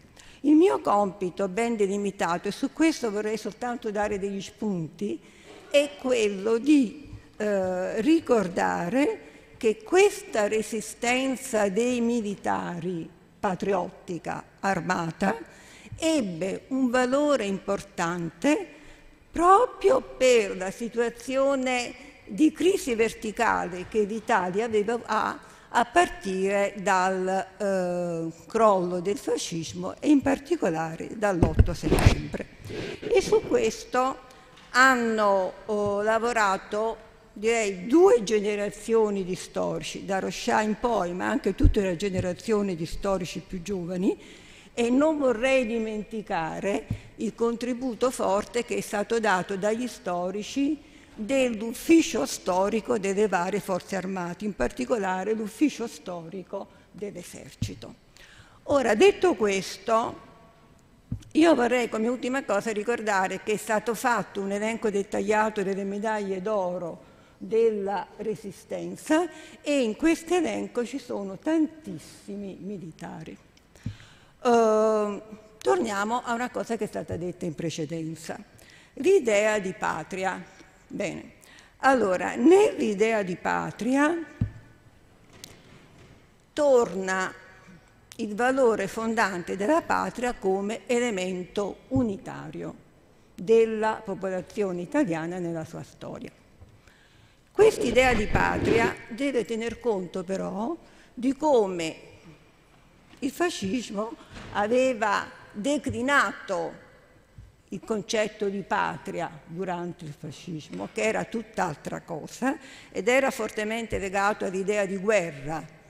Eh, durante il fascismo ci furono una serie di guerre estremamente importanti, cito la guerra d'Etiopia, ma non fu l'unica, e quindi in questo senso l'idea di patria trova poi, nella congiuntura che noi stiamo per esaminare, una, un nuovo modo di essere declinata.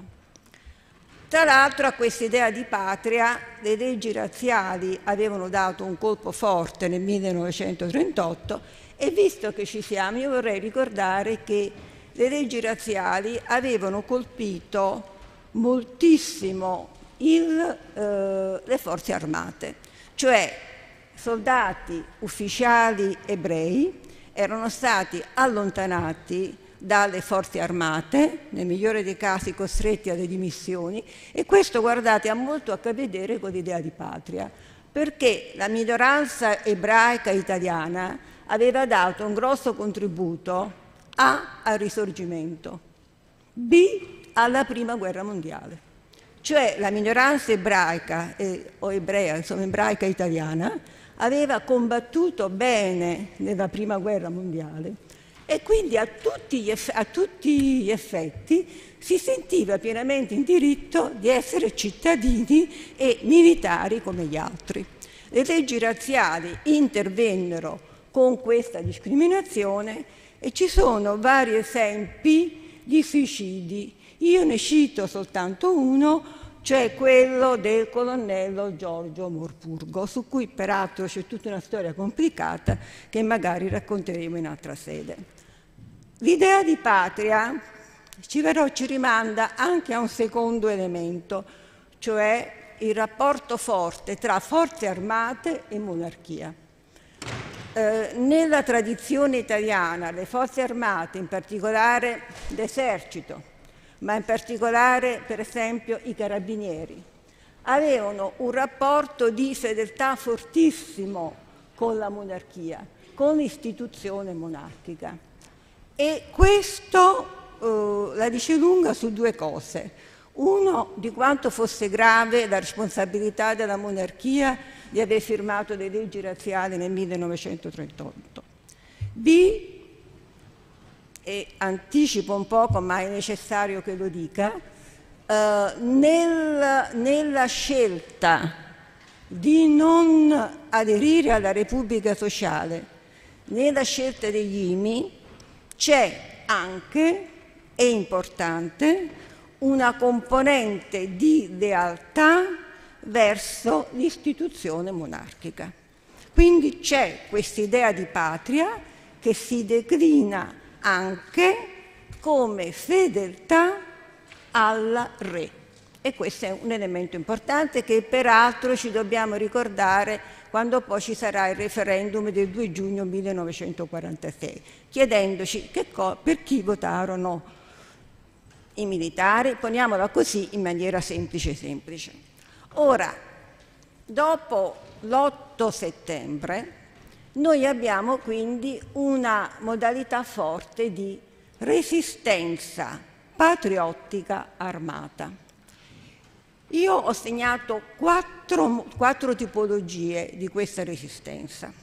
Ci sono gli episodi di resistenza patriottica dei militari a ridosso dell'8 settembre in Italia e all'estero.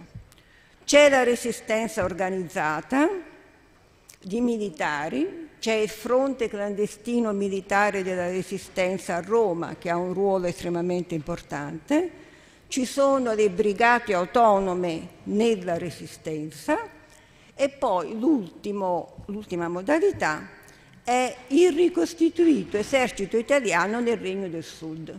Cioè nel Regno del Sud ci fu un, uh, un esercito italiano che fu ricostituito, eh, il Corpo Italiano di Liberazione, che ebbe un ruolo importante, su cui poi torneremo, e che comunque va considerato nel panorama del discorso che stiamo facendo. Allora, io non vorrei dilungarmi troppo, meglio che mi si avverte dieci minuti prima. Sì, sì, cinque minuti prima. Allora, come, resi- come resistenza a ridosso ci sono gli esempi notissimi di Porta San Paolo a Roma, no? è vero, il 10 settembre, che vengono subito dopo la mancata difesa di Roma, però ci sono questi tentativi di difesa in cui ci sono civili e militari. Tra i militari c'è la divisione Sassari e ci sono i granatieri di Sardegna, quindi è molto importante questo episodio.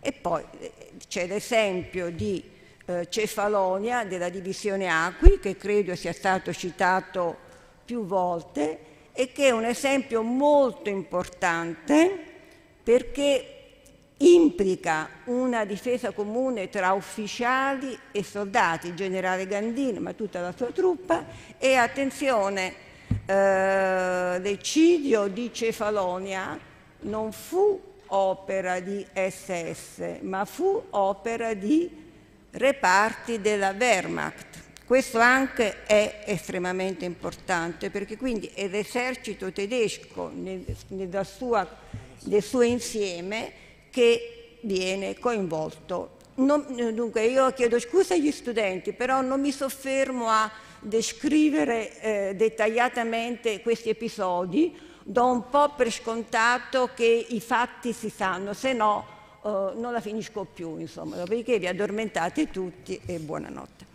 Um, io personalmente ho fatto un uh, lavoro di uh, indagine su questi episodi a ridosso nel mezzogiorno.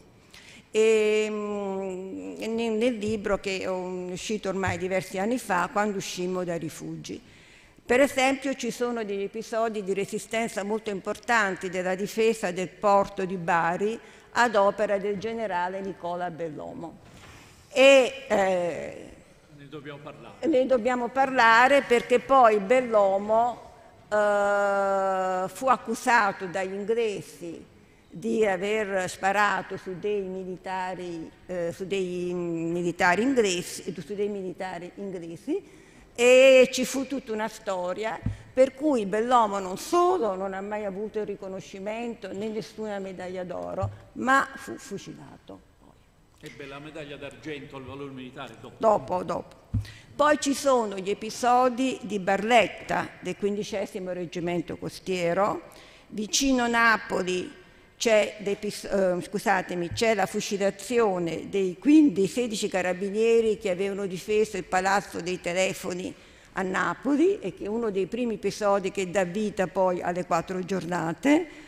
C'è l'episodio del 48 Reggimento Artiglieria di Nola e poi il generale Ferrante Gonzaga, comandante della 22esima eh, Divisione Costiera di Buccoli, Michele Ferraiuolo del 16 Costier- eh, Reggimento Costiero di Maddaloni e così via. Questo per dire che se noi andiamo a fare un'indagine a tappeto, anche nel mezzogiorno c'è una tipologia molto importante di resistenza a ridosso degli episodi dell'8 settembre.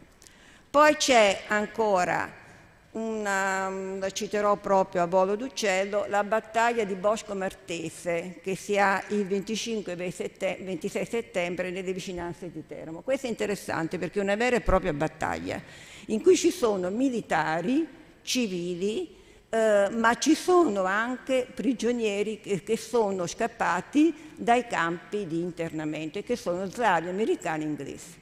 La battaglia ha un significato importante, Tut, come tutti gli altri episodi che ho citato, finisce con la sconfitta, cioè sono degli episodi eroici, ma sono tutti episodi destinati alla sconfitta.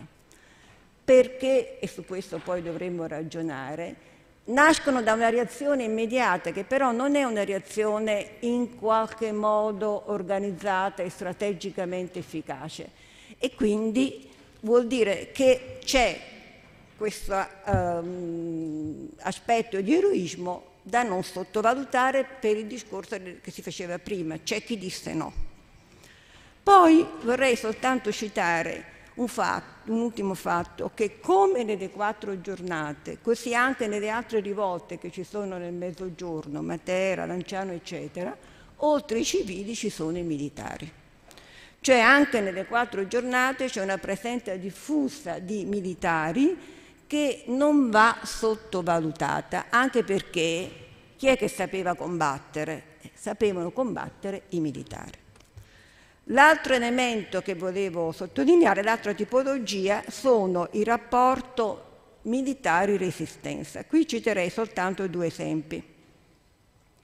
Il fronte militare clandestino della resistenza, che è presente a Roma e che ha una figura molto importante nel, eh, in, in Giuseppe Lanza Cordero di Montezemolo il quale organizza questo fronte che poi avrà una rete ramificata che si eh, espanderà in tutte le regioni dell'Italia centrale e il, eh, questa figura di militare è molto bella ed è anche significativa. Lui poi morirà alle fosse ardeatine ed è estremamente significativa perché era stato fascista, aveva combattuto nella guerra di Spagna e poi si rende conto e ritorna il discorso della lealtà alla monarchia come elemento fondamentale, che è importante resistere. Ed è una figura interessante proprio perché rappresenta poi una capacità di organizzare una rete che è in contatto con la monarchia con il Regno del Sud che si è costituito a Napoli. Poi ci sono i militari nelle formazioni partigiane, cioè che aderiscono e che hanno un ruolo importante nelle formazioni partigiane, e qui vorrei citare um, Pompeo Colaianni, che figura di primo piano delle brigate Garibaldi. Pompeo Colaianni, che era di origine siciliana, si trova in Piemonte e appunto ha una funzione di massimo rilievo nelle brigate Garibaldi e il suo nome di battaglia era Nicola Barbato. Chi è Nicola Barbato?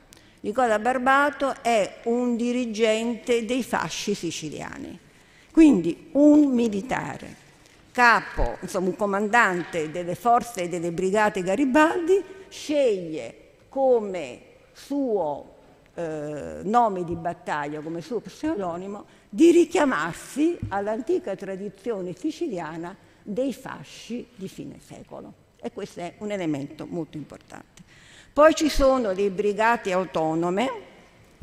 Ora, queste brigate autonome hanno un ruolo importante nella resistenza che eh, tiene conto di una loro particolare fisionomia. Le brigate autonome eh, sono fondamentalmente apolitiche, quindi sono diverse dalle brigate Garibaldi e dalle brigate Matteotti e le brigate di giustizia e libertà che invece si rifacevano a comunisti, azionisti e socialisti. Sono molto legate alla monarchia, quindi c'è un nesso forte con l'istituto monarchico e non c'è la figura del commissario politico che invece troviamo nelle altre brigate. Infine vorrei sottolineare altre due cose, un minuto per ognuna, prometto. La prima è, eh, ci vorrebbe un discorso lungo, noi abbiamo una mh, presenza di militari nelle, eh, nella resistenza all'estero, e cioè nella resistenza in Jugoslavia, nella resistenza in Grecia, pure se molto controversa, e nella resistenza in Albania. Si è soffermato su questo problema in particolare eh, Ilio Muraca, e il discorso è molto complesso, io lo accenno solo, perché? Eh, richiama al fatto che gli italiani fino all'8 settembre del 1843 erano stati esercito occupante di questi territori, con gli enormi problemi che ciò comporta, perché gli italiani Eh, sicuramente eh, se noi pensiamo a figure come Mario Roatta, come Bastianini e così via, erano stati occupanti a tutti gli effetti, con eh, il, l'annesso di stragi di civili, persecuzioni, eccetera, eccetera, anche se poi, ma questi altri lo faranno meglio di me, l'esercito italiano si era poi distinto in particolare in alcune regioni eh, come la Dalmazia e il Montenegro per la difesa degli ebrei e anche degli slavi. Ora, quindi, questo vuol dire che noi abbiamo una situazione molto complessa perché gli italiani sono da una parte esercito occupante, dopo l'8 settembre si trovano in una condizione eh, che è di sfascio e quindi c'è tutto il discorso che è stato fatto prima e in più c'è la scelta di alcuni di eh, partecipare alla resistenza sia in Jugoslavia, sia in Albania, sia con molta difficoltà in Grecia. Dico con molta difficoltà perché i partigiani jugoslavi, albanesi e greci potevano anche guardare con molto sospetto a questa partecipazione italiana. È un discorso molto complesso, io l'accenno soltanto. L'ultima cosa che volevo dire e che abbiamo invece nel Regno del Sud, cioè quello, state, quello Stato che viene col staterello che viene costituito e che eh, di fatto è lì eh, con la presenza decisiva dell'amico alleato esercito anglo-americano. Bene, allora anche qui noi abbiamo un ricostituito oh, esercito italiano c'è il primo raggruppamento motorizzato che eh, è impegnato fin dall'inizio e poi noi abbiamo il Corpo Italiano di Liberazione e poi sei gruppi di combattimento che mh, parteciparono anche a delle operazioni importanti man mano che gli anglo-americani, soprattutto gli inglesi, risalivano nella penisola. Accanto a questi, cioè a delle unità combattenti italiane, in questo rinato piccolo esercito italiano, abbiamo però una scelta degli, degli, degli alleati anglo-americani diversa. Cioè noi abbiamo un sacco di prigionieri italiani ma proprio anche che si sono consegnati, per esempio in Sicilia si consegnarono un sacco di militari italiani. Allora gli alleati, in particolare gli inglesi, scelsero che questi, manovra, insomma, questi soldati, e soprattutto soldati, eh, diventassero cooperatori cioè dopo l'8 settembre non erano più prigionieri perché c'era stato l'armistizio e l'Italia era co-belligerante, ma potevano scegliere di essere cooperatori. Che significava? E ausiliari. Significava che tanti italiani furono formati addirittura 25 battaglioni, se non ricordo male, eh, non combattevano, ma avevano un'attività di tipo logistico, cioè le trincee, tutto ciò che serviva dietro i combattimenti. E questo perché, in particolare dagli inglesi, non c'era la volontà che l'esercito italiano fosse in prima linea a fianco degli inglesi e degli americani. Allora su questo, e termino il mio intervento, vorrei leggervi, ed è l'unica cosa che vi leggo, una bella testimonianza di uh, militari italiani che si trovano nei campi sosta come cooperatori e che invece chiedono di combattere. E quindi di essere, non di, non di stare nelle retrovie, ma di combattere. In particolare eh, c'è una lettera di un militare che scrive che si trova fermo in un campo di, si chiamavano campi di assistenza, campi sosta a Capua, e che scrive ad una ragazza di Capua, che è una militante del Ludi, chiedendo di intervenire, di fare in modo che eh, la sua richiesta di voler andare a combattere in prima fila venga accettata. E qui ritorna il tema che è stato detto più volte negli interventi precedenti dell'onore militare e dell'antica tradizione dei militari italiani della Prima Guerra Mondiale e andando ancora più indietro del Risorgimento. Dice Maria, il motivo che mi spinge a scrivere la presente è che tu sei l'unica a cui posso rivolgermi. Quando si partì da Roma si sognava che ci fosse tanto lavoro da fare, si sognava tante cose, ma tutte illusioni. Siamo fermi in una caserma che fa pietà e in cui anche una bestia rifiuterebbe abitarci. Maria, ti prego, non lasciar passare un giorno da quando ricevi la mia lettera.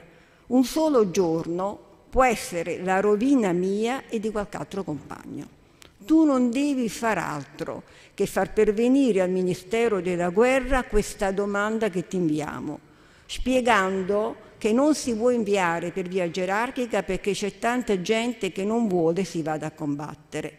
Così faremo i soldati e non i vagabondi straccioni quando siamo ridotti ora. E se potremo combattere, quando saremo in linea, avremo un pensiero di ringraziamento per te e per le tue compagne.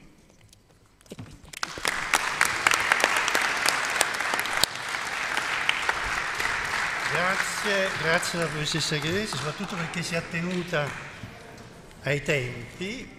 Qui c'è qualche momento di... I ragazzi devono andarsene. Allora, un minuto e aspettiamo. Un minuto.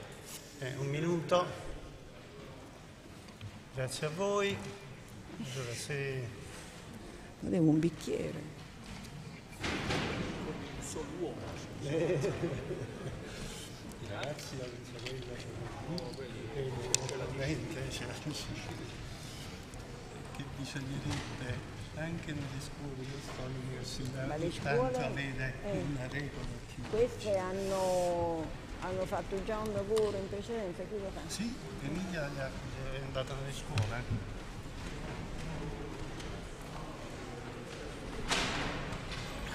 Allora, noi riprendiamo, è un'aula che i movimenti sono percepiti e quindi...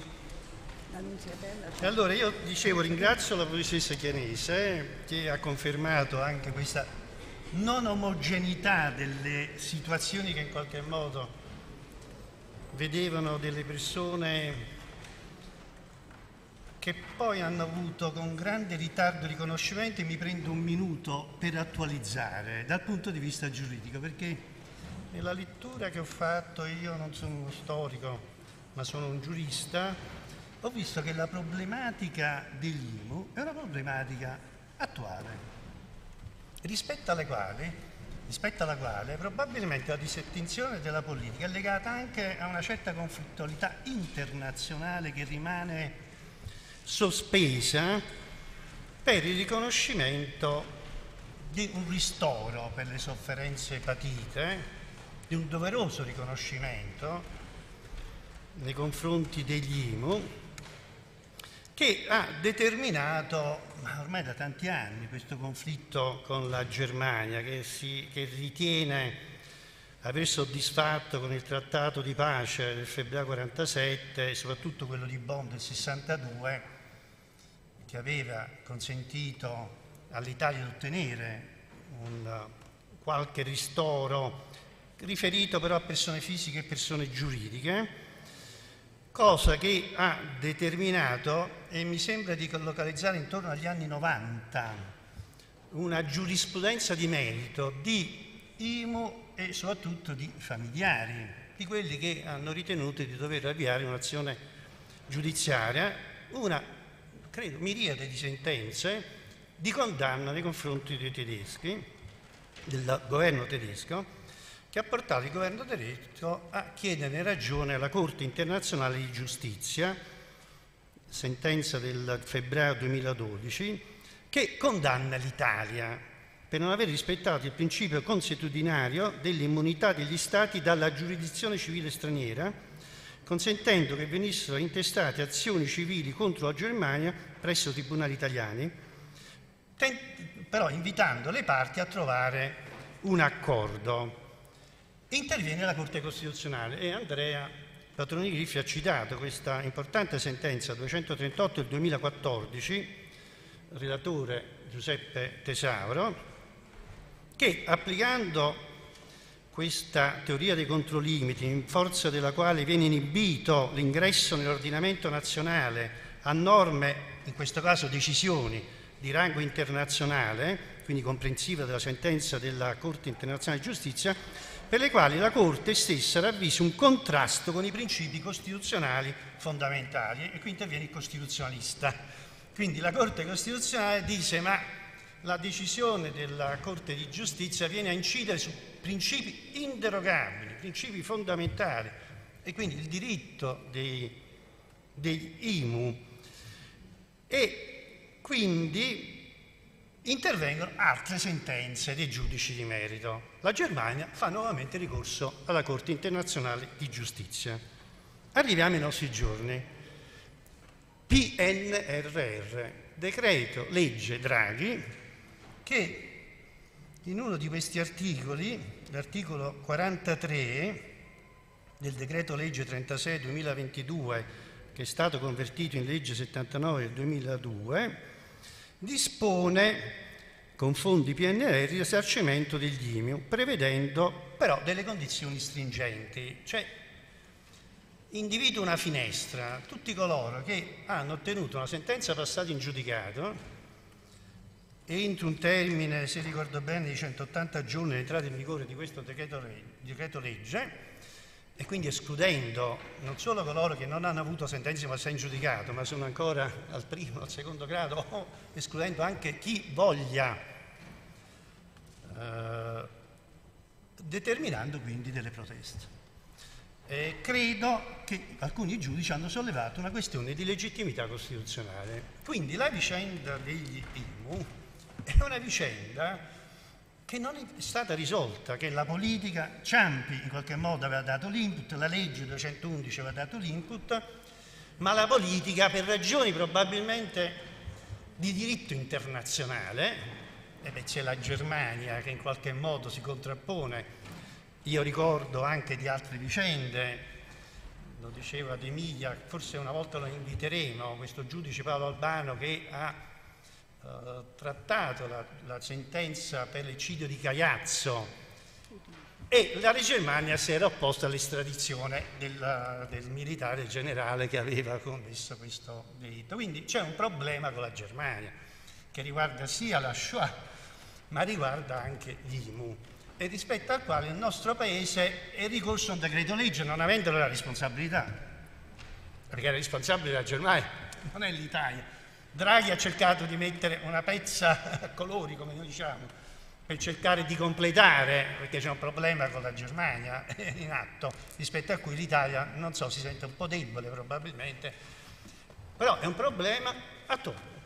Cioè è un problema rispetto al quale discuterne pubblicamente non sarebbe male, perché è un problema che dire, non vede soddisfazione di chi la storia dice sono degli eroi, ma la politica per molti motivi.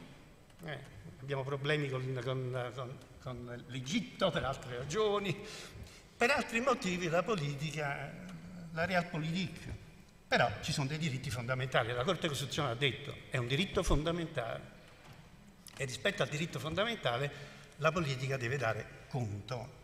Eh. Purtroppo il costituzionalista, quante sentenze della Corte Costituzionale rimangono disattese? Vabbè e questo è un altro, è un altro, è un altro spartito. Però è un tema questo che, rispetto ai quali pure i giuristi ho notato una certa disattenzione. Non a caso, eh, per carità, la sentenza noi la conosciamo la Corte Costituzionale, però il problema IMU non lo affrontiamo di petto noi giuristi, perché qui ci sono problematiche civilistiche, costituzionalistiche e internazionali rispetto alle quali bisognerebbe fare una messa a punto. Detto questo io lascio assolutamente la parola al comandante del Comando Forze Operative Sud dell'Esercito Italiano, Giuseppe Nicola Tota, che ci parlerà invece di un, un altro eroismo di Maurizio Lazzo de Castiglioni, che diciamo è un eroe che risale nei tempi Libia, Prima Guerra Mondiale, e poi la seconda guerra mondiale, l'armistizio, anche lui fa emergere l'eroismo per aver difeso e salvato molti ebrei in Francia dove c'era la Vichy, la Repubblica Vichy che in qualche modo interferiva, ma lui qualche, ha creato una barriera per salvare. E quindi è una figura emblematica, molto interessante, che ci ricollega questa volta alla sessione pomeridiana e anche alla sessione di questa mattina, perché è un militare, anche lui si era opposto ai tedeschi, era ritornato nell'Italia del Sud per in qualche modo partecipare alle azioni degli anglo-americani, però rispetto alle cose di cui abbiamo parlato questa mattina, della Shoah è un eroe, anzi è un giusto, rispetto a cui ci parlerà il comandante Tosa. Prego. Grazie. Mi ha impressionato vedere questi studenti che come un solo uomo si sono alzati per, eh, per andare via. E non voglio sembrare polemico, però lo sono.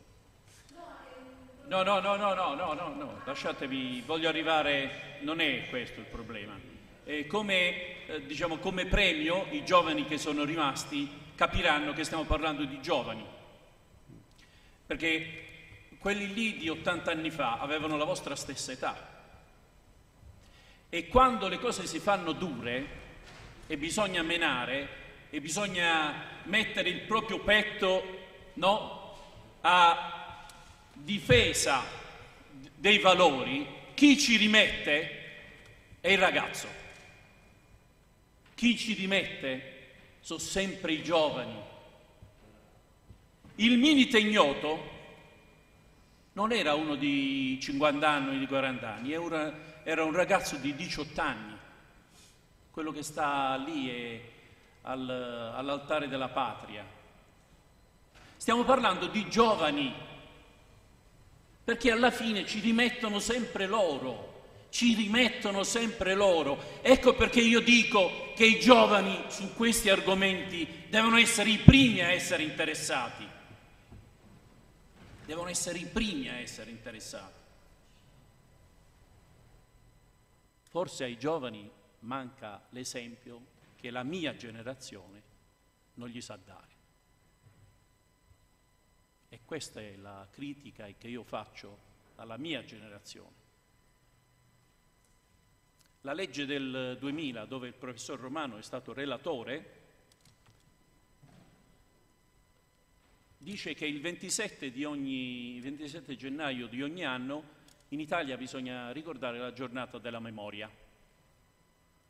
Eh, non mi ero andato a leggere la legge perché ah, normalmente eh, eh, faccio il mia colpa, non ci interessano queste cose qui, andiamo a rimorchio di tante cose, no?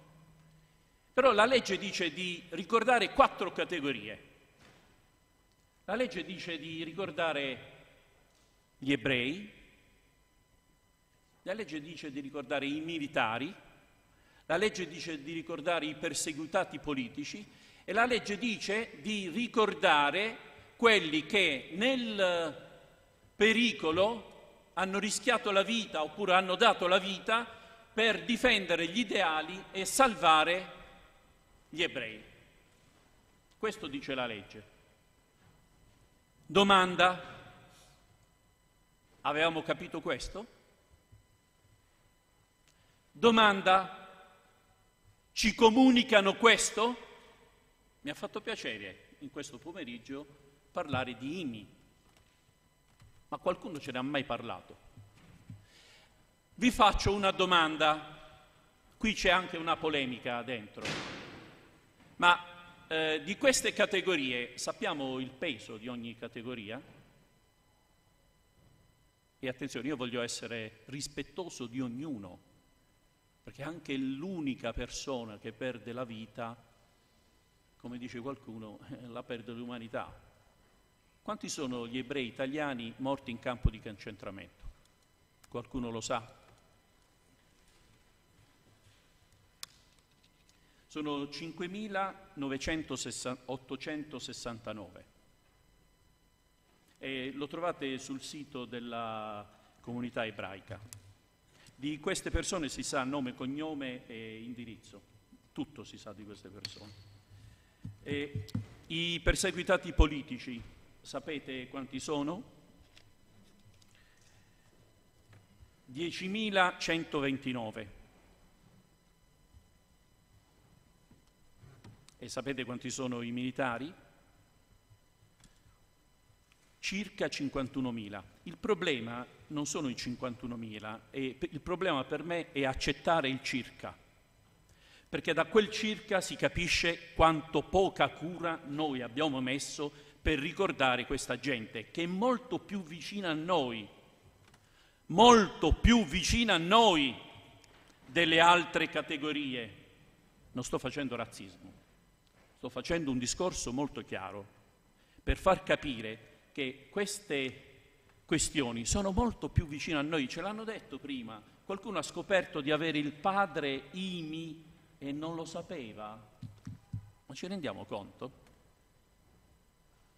Ci rendiamo conto? Sapete quanti sono i, i napoletani che sono stati Imi? 4.300 circa.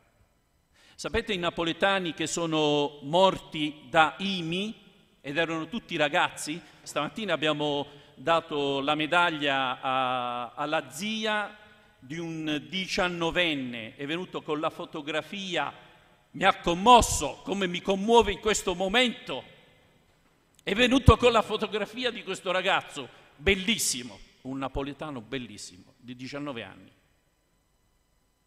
Sapete quanti sono? Sono 240. Ma qualcuno ne ha mai parlato? Qualcuno ci ha mai raccontato queste cose del mio paese? 80. Nessuno mi ha mai ricordato questo. Eppure erano così vicino a noi. Detto questo, finisce questa polemica che vuole essere uno sfogo e vi devo parlare della quarta categoria, cioè di chi ha rischiato la propria vita per difendere e per eh, salvare ebrei. È stato una, un caso per me, perché come, eccolo qui, come uso dire, e tu citi e leggo perché voglio andare veloce e voglio dirvi tutto, e consentitemi questo eh, dal punto di vista psicologico io vi aiuto perché ho messo il numero delle lastrine, che sono 38. Non so se mi sono spiegato. Quindi andrò veloce col testo e col, con le lastrine che Michele mi, mi, mi farà girare. Poi farò delle domande. Sto scherzando. Tu citi Maurizio Lazzaro De Castiglioni e ti aspetti una reazione di positiva approvazione almeno in ambito militare. E invece niente. Chi è Maurizio Lazzaro de Castiglione? Ma come dici? Eh, il generale, quello che è stato il primo comandante di Ftase, eh, il comandante nato in, eh, in Italia, a Verona, quello che in Francia, e invece niente, non succede niente, perché non lo conosce nessuno.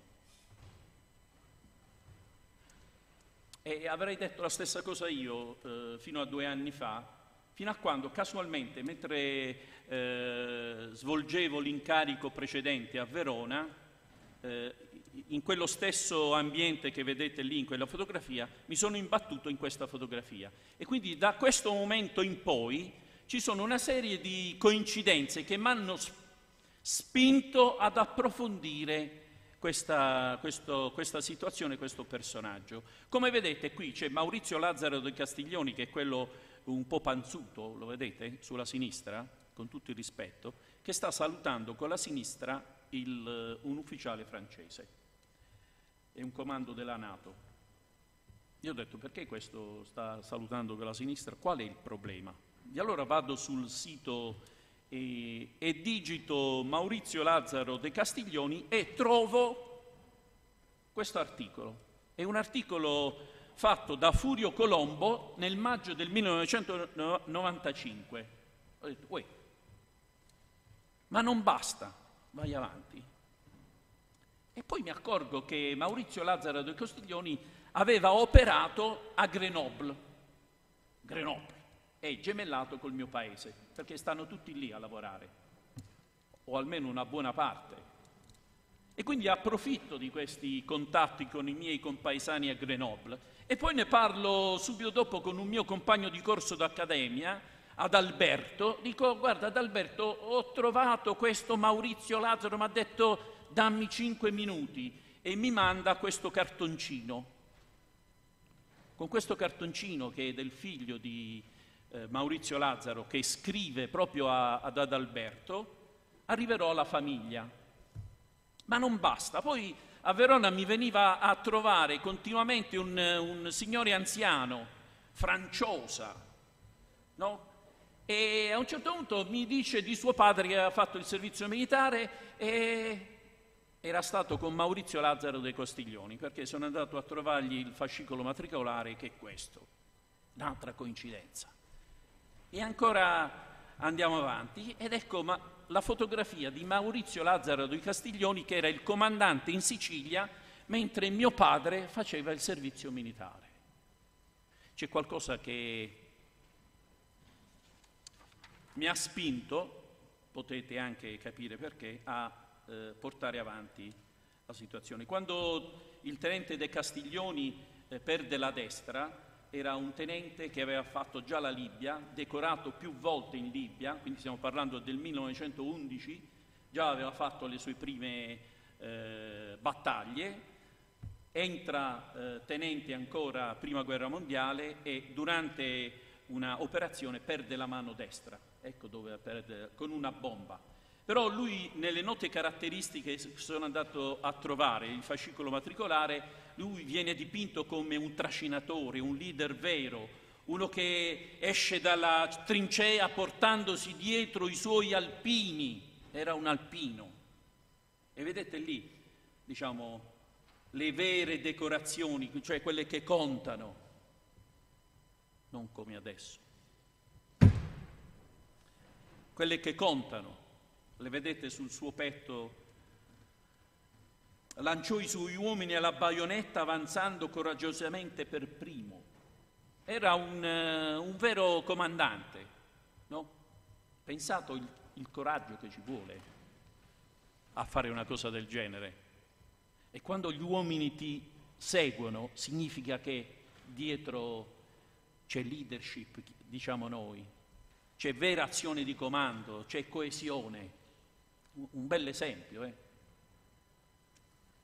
Dopo la guerra e dopo essere rimasto mutilato, lui diciamo, ottiene di rimanere in servizio. E si sposa dopo aver avuto il permesso, dice Reggio, e mette su famiglia due figli che abbracciano tutte e due la carriera militare, Vittorio e Camillo, che non ci sono più, ho incontrato i nipoti.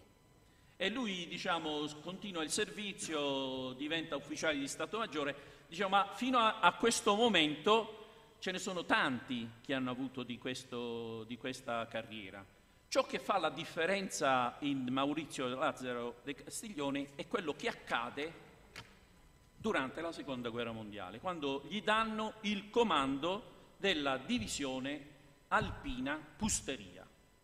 Io sono riuscito anche a, a trovare il suo liceo, e ho dato, è stato veramente interessante, ho dato a questi giovani di Alba, del liceo classico di Alba, eh, queste, questa testimonianza che devo dire è stata accolta con grande entusiasmo. Eh. E sapete la battaglia di El Alamein, quindi stiamo parlando dell'ottobre del eh, 1942, le cose si mettono completamente male per l'Italia, in Africa settentrionale, ma quasi contemporaneamente le cose si mettono male anche in Russia, perché ieri c'è stato diciamo, la, l'anniversario di Nikolaevka. La battaglia di Nikolaevka è quella che conclude nostra, le nostre operazioni in Russia, nel senso che si raggiunge Nikolaevka, tutti quelli che riescono a salvarsi e arrivano e poi se ne rientrano in Italia. In questo momento storico preciso, eh, gli italiani e i tedeschi pensano che oramai è arrivato il momento eh, in cui eh, bisogna porre in atto un piano che effettivamente già c'era, cioè la possibilità di uno sbarco degli alleati nel sud della Francia. Allora, vedete lì, questa è importante questa cartina, che si trova in giro, però quando noi eh, entriamo in guerra contro la Francia, alla fine noi occupiamo la zona gialla, la vedete? Che è una zona molto ristretta, praticamente a cavallo delle Alpi. Nel momento in cui eh, eh, la Germania occupa la parte in arancione, e la Francia di Vichy, che era un regime collaborazionista, si mette giù nel meridione ed è quello viola.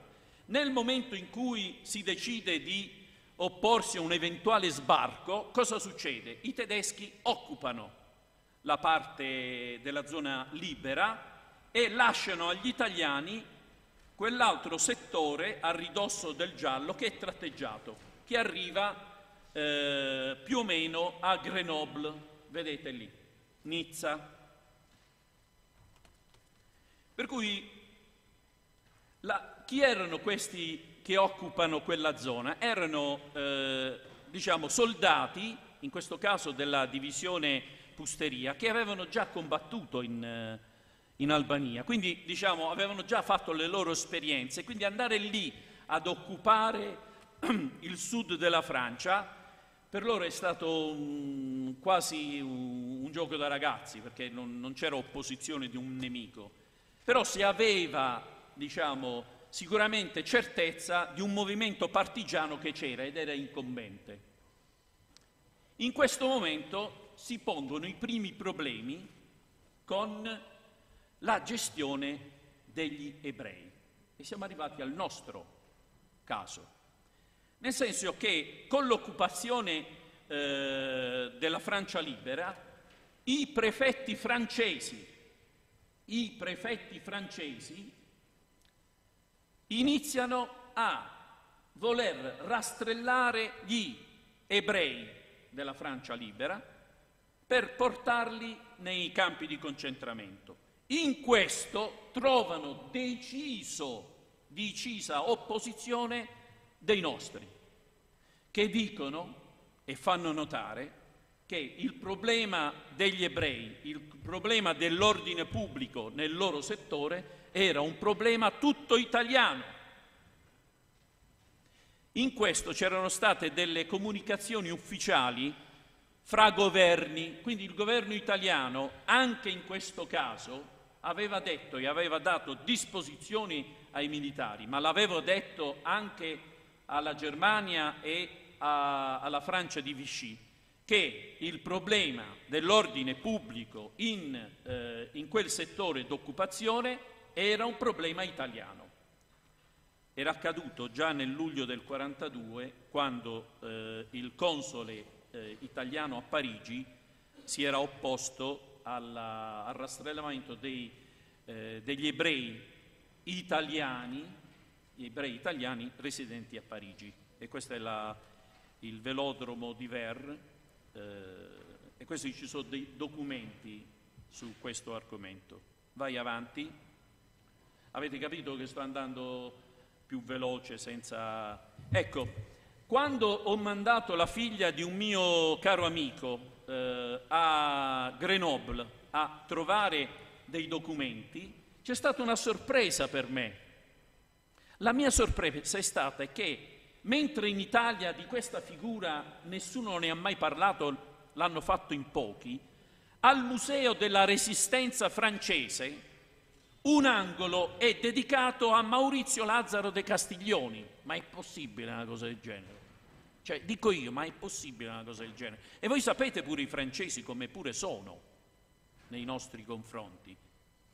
Questo è un documento che, si, che ho trovato lì ed è la lettera che Maurizio Lazzaro dei Castiglioni scrive al prefetto di Grenoble dicendogli tu non ti devi permettere di prendere iniziative nei confronti degli ebrei, perché è roba mia. E anche se ci sono, aggiunge lì a, a penna, eh, dei problemi eh, di natura penale, nel senso che troviamo degli ebrei che hanno dei problemi con la, la giustizia, ti devi coordinare con me. E glielo dice a, a brutto muso. E gli ricorda ecco perché è importante anche questo documento. Io tutta questa roba ve la lascio eh, come il mio intervento, come testo, per cui eh, potreste anche senza prendere appunti. È importante perché lì dice come il mio governo ti ha detto come il mio governo ha detto al tuo governo. Vai avanti. Questo è un altro documento sempre presente negli archivi francesi a Grenoble, che parla di un altro argomento, come vedete in francese. Vai avanti. Ecco, tutta, tutto questo, siamo nella, nella primavera del 43, le cose si stanno mettendo male, ma tutto questo eh, mette in evidenza un, un problema, cioè fa emergere un problema, cioè c'è un, una completa disarmonia fra quello che sono il comportamento dei, dei tedeschi e quello che è il comportamento dell'alleato maggiore, cioè degli italiani. Tanto che Ribbentrop l'11 marzo del 1943 si reca da, eh, da Mussolini a dire caro Duce, qui le cose non vanno avanti perché i tuoi eh, generali non stanno facendo quello che devono fare, cioè collaborare. Qualche giorno dopo, il 17 marzo, eh, la, l'ambasciatore che si reca ancora da Mussolini e dice i tuoi generali sono un po' troppo umani nei confronti degli ebrei, devi prendere un provvedimento. Adesso eh, se eh, capitasse qualcosa del genere in questi giorni, il ministro della difesa eh, direbbe a me, dice generale, vai a casa, te ne mando un altro, nel senso che sarei, sarei destituito. Pensate 80 anni fa. Tutto questo non avviene e cosa succede? Eh, viene mandato in Francia quel signore lì. È un signore che, se voi andate a leggere eh, la storia di Guido lo Spinoso è una storia un po' controversa, però in Francia lo considerano, perché in Francia va con il mandato di andare a fare chiarezza, ma in realtà non fa altro che perdere tempo. Quello che ottiene è di mettere gli ebrei non in campo di concentramento, ma in quartieri a parte ma non c'è nessuna persecuzione. Prego. Un altro personaggio che si, che si dà da fare in quell'ambito è quest'altro signore qui, lo vedete, è Angelo Donati. Angelo Donati ha ricevuto in Francia, a Nizza, sulla via principale di Nizza, c'è una targa e che è quella lì, che ricorda Angelo Donati. Angelo Donati è un signore di Modena, di origini ebraiche.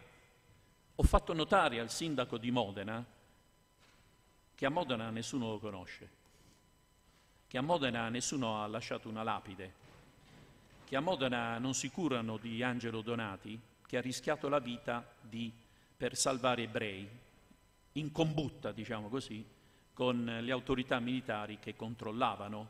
Lui organizzava viaggi di ebrei da Nizza con le navi diciamo, come direbbero a Napoli, a um a um. C'è pure una, c'era un, una canzone che dice a um a um a um. Lo dico un attimino per tirare su il morale.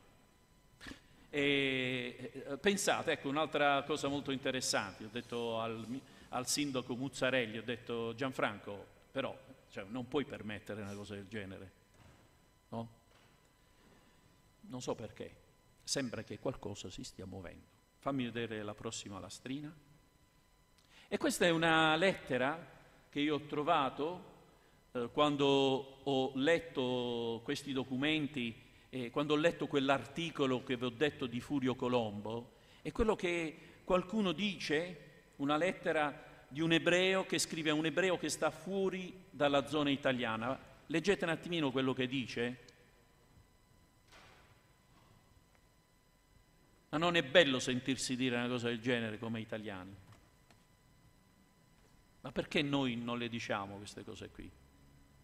Le dicono all'estero? Vai avanti.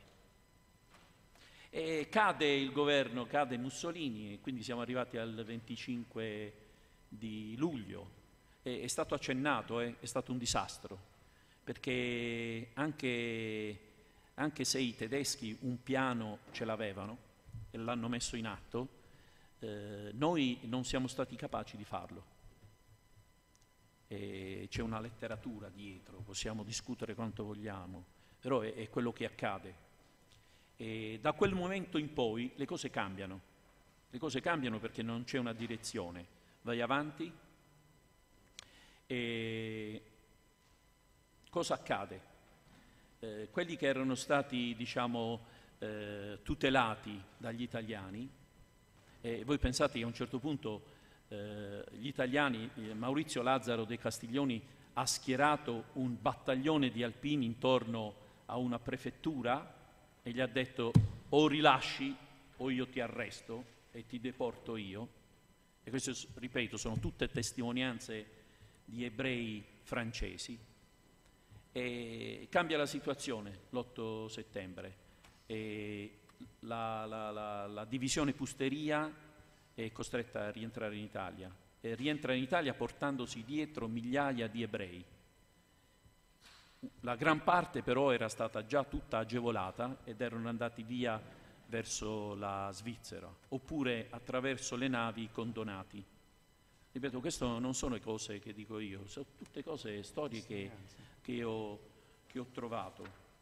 E, ed è interessante, interessante, questo è un dato che devo leggere, perché con l'arrivo dei tedeschi nella zona occupata dai, dagli italiani, eh, 729 persone vengono fucilate con l'arrivo dei tedeschi, 3057 furono deportate e 1877 non tornarono più.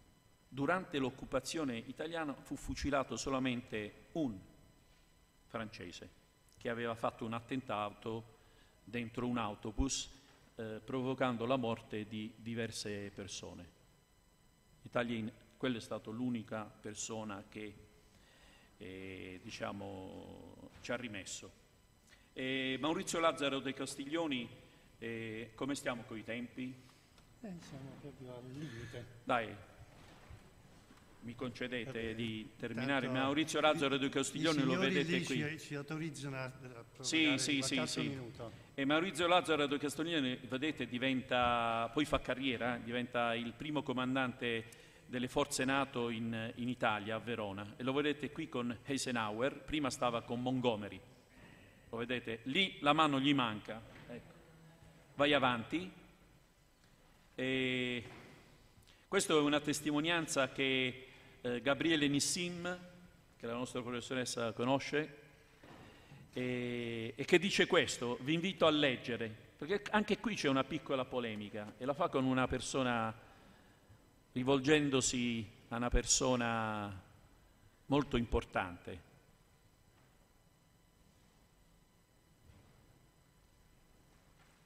Ah, lo dice lui, non l'ho detto io.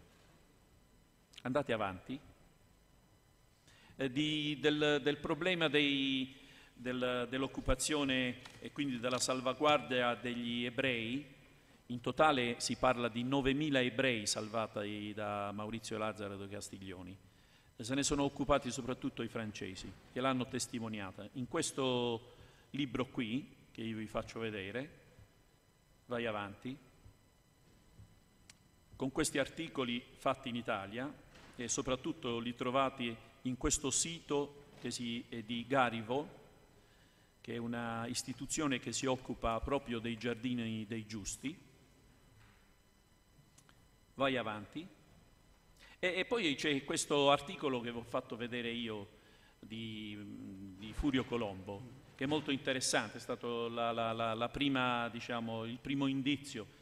Eh, lui lo, lo, faceva e ha descritto una giornata di studio che eh, la comunità ebraica a New York nel 1995, a maggio del 1995, aveva promosso per parlare di Maurizio Lazzaro dei Castiglioni dicendo molte delle cose che vi ho detto. In Italia non c'è stata nessuna reazione, purtroppo, purtroppo. Vai avanti. Sono delle altre testimonianze che, che, che vengono date, vai avanti perché poi ci sono altre cose molto più interessanti che vi dico.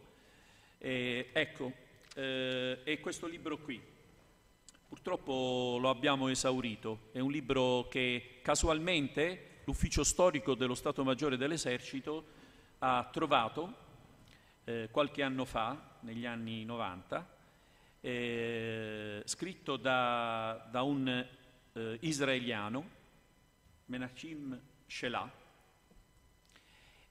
scritto in ebraico,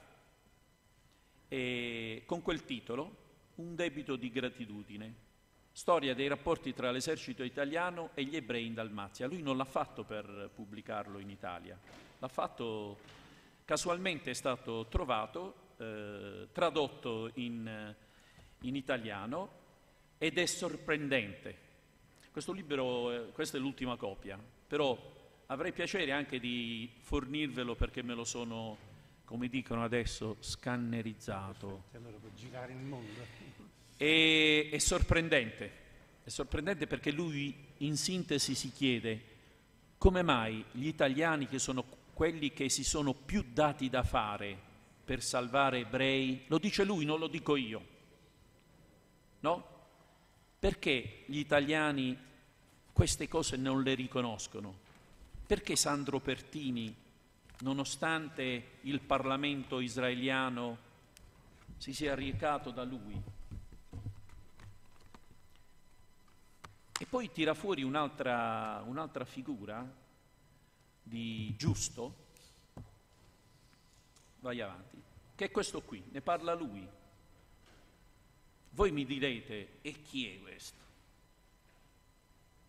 Come si dice in napoletano, chi è questo? Chi è Chist? Sì, perché è napoletano, è di Capua. Lo conoscono nei Balcani e lo conoscono gli ebrei che sono stati salvati da lui, era il comandante della divisione Marche, Giuseppe Amico. Non lo conosciamo nemmeno noi perché noi abbiamo delle caserme dedicate a lui. Lui viene giustiziato dai tedeschi, dice lui, Shelah, perché aveva salvato 4.000 ebrei. E lui dice, ma perché non ne, non ne parlano in Italia? Perché una figura del genere? Era sepolto fino a poco tempo fa in Dalmazia, dove lo conoscono, ed è stato portato, medaglia d'oro al valor militare, in, eh, al, al cimitero dei caduti da oltremare a Bari, di Capua. Vai avanti. Questa è un'altra testimonianza, però eh, vai avanti. Ecco, io suggerisco un altro documento molto interessante, che è questo film qui che voi trovate online, Il nemico buono. Lo si trova anche eh, in versione italiana. Eh, consiglio anche questo, perché la testimonianza di eh, gente che oramai non c'è più, che dice quanto bene hanno fatto i nostri nonni e i nostri padri in quelle occasioni. Eh, queste sono storie che noi abbiamo conosciuto a colori, perché noi quella gente l'abbiamo incontrata. Non so se mi sono spiegato. Consiglio questo, vai avanti perché stiamo terminando. E voglio finire con questa frase qui, che è quello che eh, era scritto nel, nel volantino che veniva distribuito fuori dall'università a New York per promuovere, per dire alla gente entrate, stiamo parlando di questo. Lo dicevano a New York loro, noi no. Vai avanti. Eh, lo Stato Maggiore dell'Esercito ha fatto un libro dopo queste ricerche, ha parlato di lui, sta eh, studiando il caso di Amico e molto probabilmente uscirà un libro su Amico. Vai avanti perché ho terminato. Maurizio Lazzaro dei Costiglioni è stato riconosciuto giusto nel giardino a Milano. L'ultima foto e quello a destra, che gli assomiglia molto, è il nipote che si chiama Nicolò. Ho terminato. Grazie.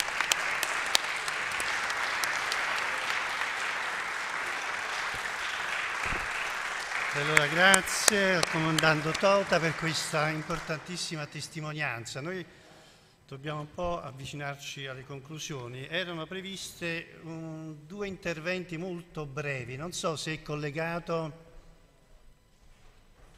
C'è il collegamento? Allora, ricordando che ciascuno di noi ha delle amicizie o parentele con Unimu, io avevo nella mia biblioteca quel libro che mi era stato donato da un carissimo amico, ingegner Ingenito, che è il figlio di Franco Ingenito, Imu, di cui ho fatto prima decenni. Sei, eccolo lì, c'è Roberto Ingenito. Poi volevo invitare Valeria eh, Lucia Valenzi, se voleva dire due parole, piccolo intervento dopo, devi andare via. Va benissimo. Allora cedo la parola a Roberto Ingenito, ingegnere Ingenito che da Firenze ci teneva ad intervenire per dire brevi parole. Prego. Grazie mille, grazie. Un brevissimo, veramente brevissimo intervento per una piccola testimonianza per confermare quanto già ampiamente detto finora, ovvero che oltre al fatto che tutta la vicenda degli IMI è stata tenuta all'oscuro dell'opinione pubblica e sottaciuta fino a pochi anni fa, anche gli stessi protagonisti hanno cercato per lo più di dimenticare, di nascondere. E proprio a conferma di ciò, anche mio padre non aveva mai parlato della sua vicenda e del suo diario fino agli anni 2000, quando, eh, quando eh, decise sua esclusiva iniziativa di trascrivere il, il, suo, il suo diario che aveva gelosamente custodito sul computer e eh, poi distribuendolo ai parenti. Da qui poi l'idea di realizzare recentemente la pubblicazione. Però mi premeva infine, diciamo inoltre, anche comunicare il desiderio di mettere a disposizione di chiunque ne fosse eventualmente interessato il libro, la pubblicazione, inviandolo per posta personalmente, richiedendo anche la cortese disponibilità degli organizzatori. Però ecco, mi piacerebbe anche poter depositare in un archivio storico il diario originale, perché appunto fu scritto da mio padre proprio nel periodo della prigionia, quindi durante la prigionia, quindi un fotografo, che è in mio possesso, ed anche una rubrica che contiene una, la lista di tutti i eh, diciamo, eh, detenuti, eh, tutti i compagni eh, del campo, ehm, con eh, diciamo, il, tutti i dati anagrafici, quindi i nomi, eh, le, le, date di nascita e le città di origine, città italiane di origine. Eh, anche questa rubrica è stata redatta da mio padre durante l'internamento ed è una rubrica, diciamo, ufficiale, originale, certificata da un generale del campo e che forse può avere anche una valenza storica. Quindi mi farebbe piacere, ecco, vedere se è possibile depositarlo in un archivio storico. Grazie mille. Grazie, grazie a te.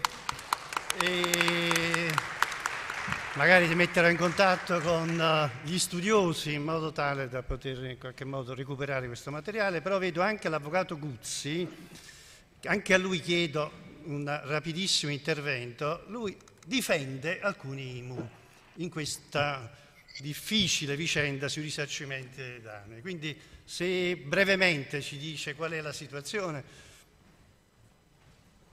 Grazie mille, eh, ti ringrazio per la parola, ti ringrazio per l'opportunità di intervento e ti ringrazio soprattutto per l'invito perché so che dietro questa uh, mia partecipazione c'è un tuo invito a questo convegno. Mi è dispiaciuto non essere presente di persona, colgo l'occasione per salutare te per salutare anche il generale Tota che ho avuto modo di conoscere in occasione del treno del Milde Ignoto.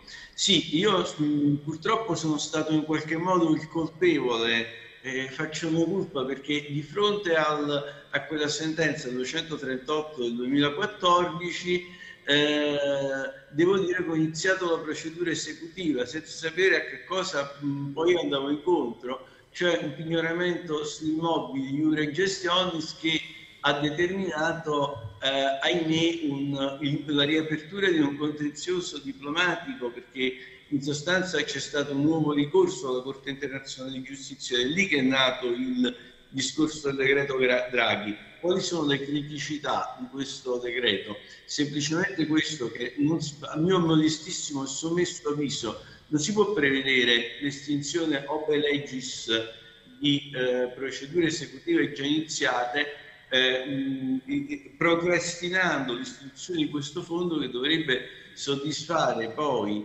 eh, le vittime dell'internamento, però non si sa quando, non si sa come, cioè prima si estinguono le procedure e poi si eroga il risarcimento. È un po' un cortocircuito processuale, ma un cortocircuito che tocca il diritto alla difesa, tocca l'articolo 24 della Costituzione in pieno, insomma perché alla fine del 238 del 2014 la cosiddetta sentenza Tesauro è vero nasce da un rinvio pregiudiziale per il procedimento di cognizione ma se lo leggiamo nella sua eh, completezza e, consideriamo il principio del, della tutela processuale come stessa non solo la fase cognitiva ma anche la fase esecutiva beh eh, questi signori che aspettano giustizia da, da quanto? Da 80, da 80 anni praticamente, è, è bene che eh, gliela, gliela, si riconosca, gliela si riconosca realmente. Come dicevi eh, nel, tuo, nel tuo intervento precedente Lorenzo, è una cosa che tocca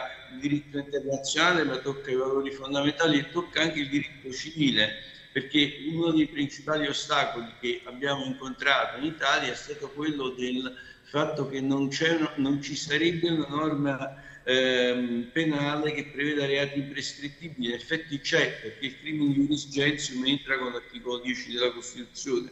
Quindi eh, sarebbe un discorso molto lungo, certo, per la brevità. Noi speriamo che eh, siamo già in, in, dinanzi alla consulta con l'ordinanza 154 2022, ehm, quindi eh, pubblicata sulla Gazzetta Ufficiale del 5 gennaio di quest'anno, quindi diciamo che, anzi il 4 gennaio, quindi diciamo che auspichiamo un intervento chiarificatore della Corte Costituzionale. Grazie. Grazie, grazie a te. Quindi siamo arrivati a gennaio 2022, quindi è una, una vicenda che potrebbe rappresentare anche oggetto di un approfondimento tra noi giuristi. Allora io devo solo dare la parola a, per le conclusioni al professor Di Salvo e al senatore Romano, che magari se li facciamo sedere oh, sì, qui. Sì. Allora, il professor Enrico Di Salvo è stato direttore del CIRB, è un chirurgo, è un chirurgo molto, diciamo un quarto d'ora. Eh? Sì, diciamo che tempi ci prendiamo? Io eh. poi Lucio fa la... Che tempi ci prendiamo? Pochissimo, 10 minuti. Eh, allora, io dottoressa Badessa... 10 minuti. 10 minuti. Facciamo 5 e 5. Perfetto. Proprio, eh. Allora, presentavo il professore Enrico Di Salvo, eh, post, past presidente della, del CIRB e chirurgo. dell'Università Federico II, a cui cedo la parola. Grazie, grazie mille Lorenzo. Io penso che i ragazzi siano un po' stanchi, eh, è stata una giornata importante, però penso anche che una volta all'anno si può dedicare l'attenzione di un'intera giornata a un tema così, anzi forse si deve. Io lascerò molto volentieri a Lucio la sintesi finale, però vorrei rifarmi un attimo al bellissimo intervento del generale comandante Tolta. Lo dico non per piaggeria, non è nelle mie abitudini, ma un intervento forte, convinto e che ha portato sul tavolo di tutti noi, soprattutto dei più giovani, il tema della dignità, dell'onore, della necessità di essere fedeli e anche al tempo stesso l'onere di distaccarsi da un precedente impegno quando ci si rende conto che c'era solo brutalità e delitto. Io, mentre il generale parlava, facevo una riflessione. Eh, Benito Mussolini è andato al potere nel 22. Eh, L'Italia è entrata in guerra alla fine del 39, quindi eh, i nostri soldatini che andavano lì a combattere per la patria erano ragazzi più o meno della vostra età. Ponetevi per un attimo la domanda di quale scelta avreste fatto voi. Sareste stati capaci di dire no, non continuo con questa Italia, con questo governo e con questa alleanza con i nazisti? Avreste avuto questa forza morale di dire no? Perché questo è un tema che i giovani si devono porre. Eh, sono convinto di questo. I giovani sono capaci di, di svelare delle straordinarie qualità, ma una generazione che era nata nel culto, quando Mussolini ha preso il potere stavano nascendo dei bambini. Questi bambini si sono formati all'idea di patria, credere, obbedire, combattere.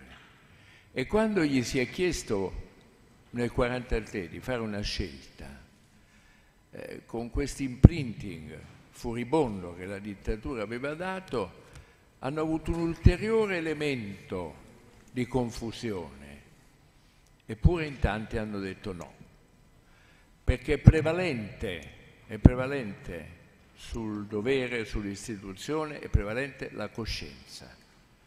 È necessario che ci si ponga in qualunque momento il problema ma stasera, quando metterò la testa sul cuscino, avrò il diritto di addormentarmi? Ecco, io vi lascio solamente con questo messaggio, perché credo che eh, i nostri predecessori, in generale ha ricordato una figura, direi quasi addirittura fra il romantico e il mitologico, ma ne abbiamo avuti di questi eroi la storia del nostro paese è piena di eroi, è piena di farabutti, lo vediamo anche in questi tempi, ma quando il generale ha detto le decorazioni non erano, mi corregga se sbaglio, non erano come sono oggi, io penso che anche quelle di oggi fanno onore a chi le porta. Eh, siamo stati un paese conflittuale, un paese che ha saputo sbandarsi e confondersi, però abbiamo saputo anche ritrovare la strada abbiamo lasciato sul campo tanti morti, tanti morti. Per cui io sono molto contento di aver partecipato a questo pomeriggio che considero un, un pomeriggio di approfondimento. È vero, generale, è indegno che dei nostri eroi non si parli qui, però fa bene sentire che qualcuno poi se ne ricorda, ne parla e fa omaggio al CIRB, qui rappresentato dal suo direttore, il professore Patroni Griffi, con il quale mi complimento per questa bellissima giornata. Contiamo che lei tenga fede alla promessa con il bel dono librario che ci ha fatto.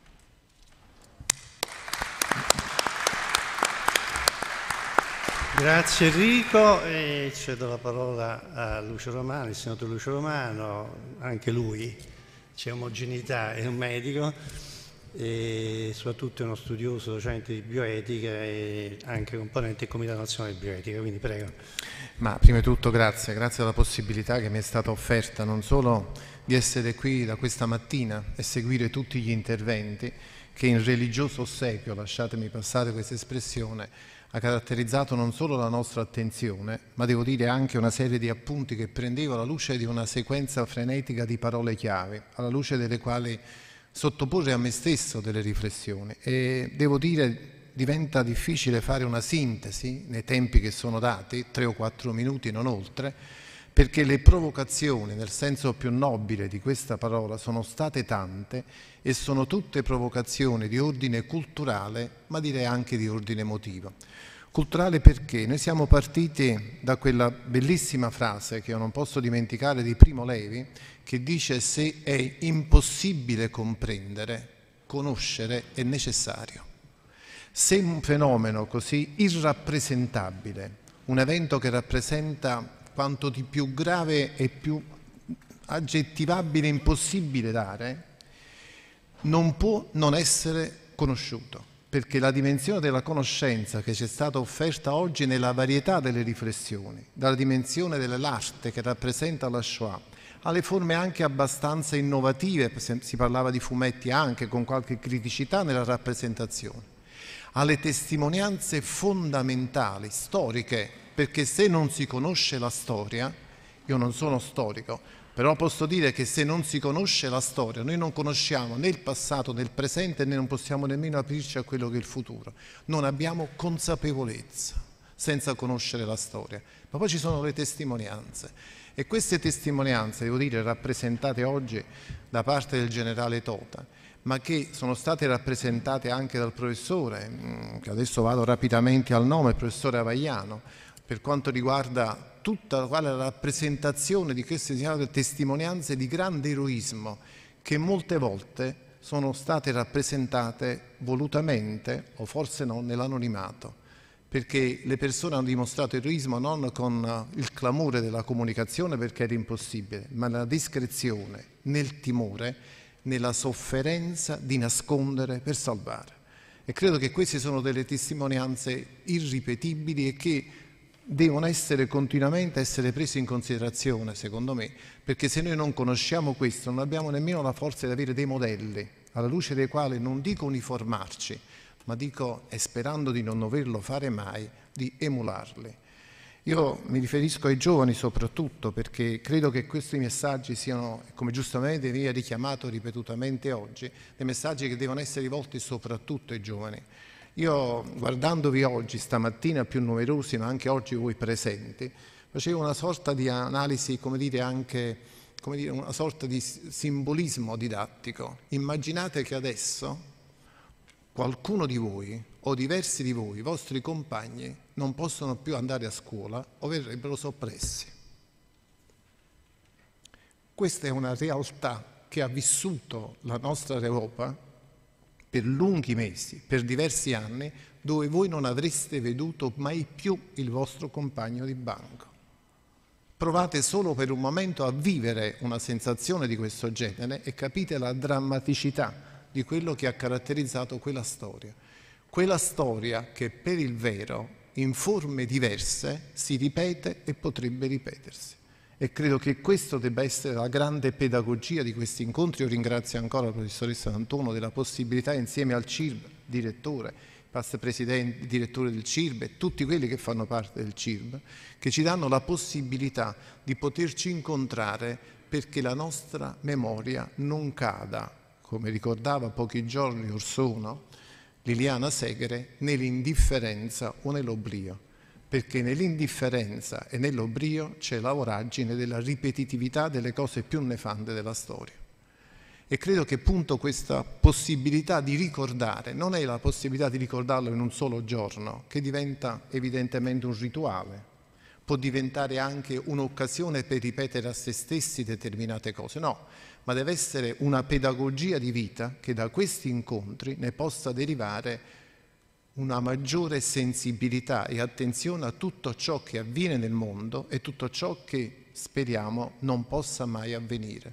Credo che questa sia la grande forza educativa di un centro interuniversitario di ricerca bioetica che si avvale di una partecipazione corale e ogni anno con sempre più persone, con sempre nuovi ospiti che portano la loro storia, portano la loro cultura, portano il loro sapere. C'era un'espressione che io riportavo a luce di un mio vecchio maestro che mi parlava in termini di verità, una verità che si incontra con la storia. Sono queste parole che io voglio riporle di nuovo alla vostra attenzione. Lui diceva guarda, il vero deve andare oltre il certo. E poi c'è questa espressione che credo che oggi cada in maniera quanto mai attuale e mi diceva la coscienza deve andare oltre la conoscenza. Perché noi possiamo partire da ciò che è certo e da ciò che è la conoscenza, ma non possiamo fermarci a questo. Perché nella dimensione del certo c'è la verità e oltre la dimensione della conoscenza deve esserci la dimensione della coscienza e nella dimensione della coscienza e del vero e della verità credo che noi possiamo fare un percorso di civiltà. Io giorni fa, il 20 di questo mese, mi ritrovavo al Senato e ho partecipato ad una iniziativa, credo che sia estremamente lodevole, di grandissimo livello. C'è stato un incontro di Sami Modiano. Sami Modiano oggi 92 anni, 92-93, persona che partecipa in maniera molto attiva da anni a quello che voglia significare la testimonianza dell'aver vissuto in un campo di concentramento. Credo che questa sia una testimonianza che voi soprattutto giovani dovete vedere. E la potrete vedere, andate sui siti, andate dove volete, non voglio fare pubblicità assolutamente, ma vi perdonerete, se, se andate sulla mia pagina Facebook, io ho voluto assolutamente riportare questa testimonianza che diventa pedagogia di vita e che voi non potete dimenticare e che noi non possiamo accantonare nell'oblio o nell'indifferenza. Grazie.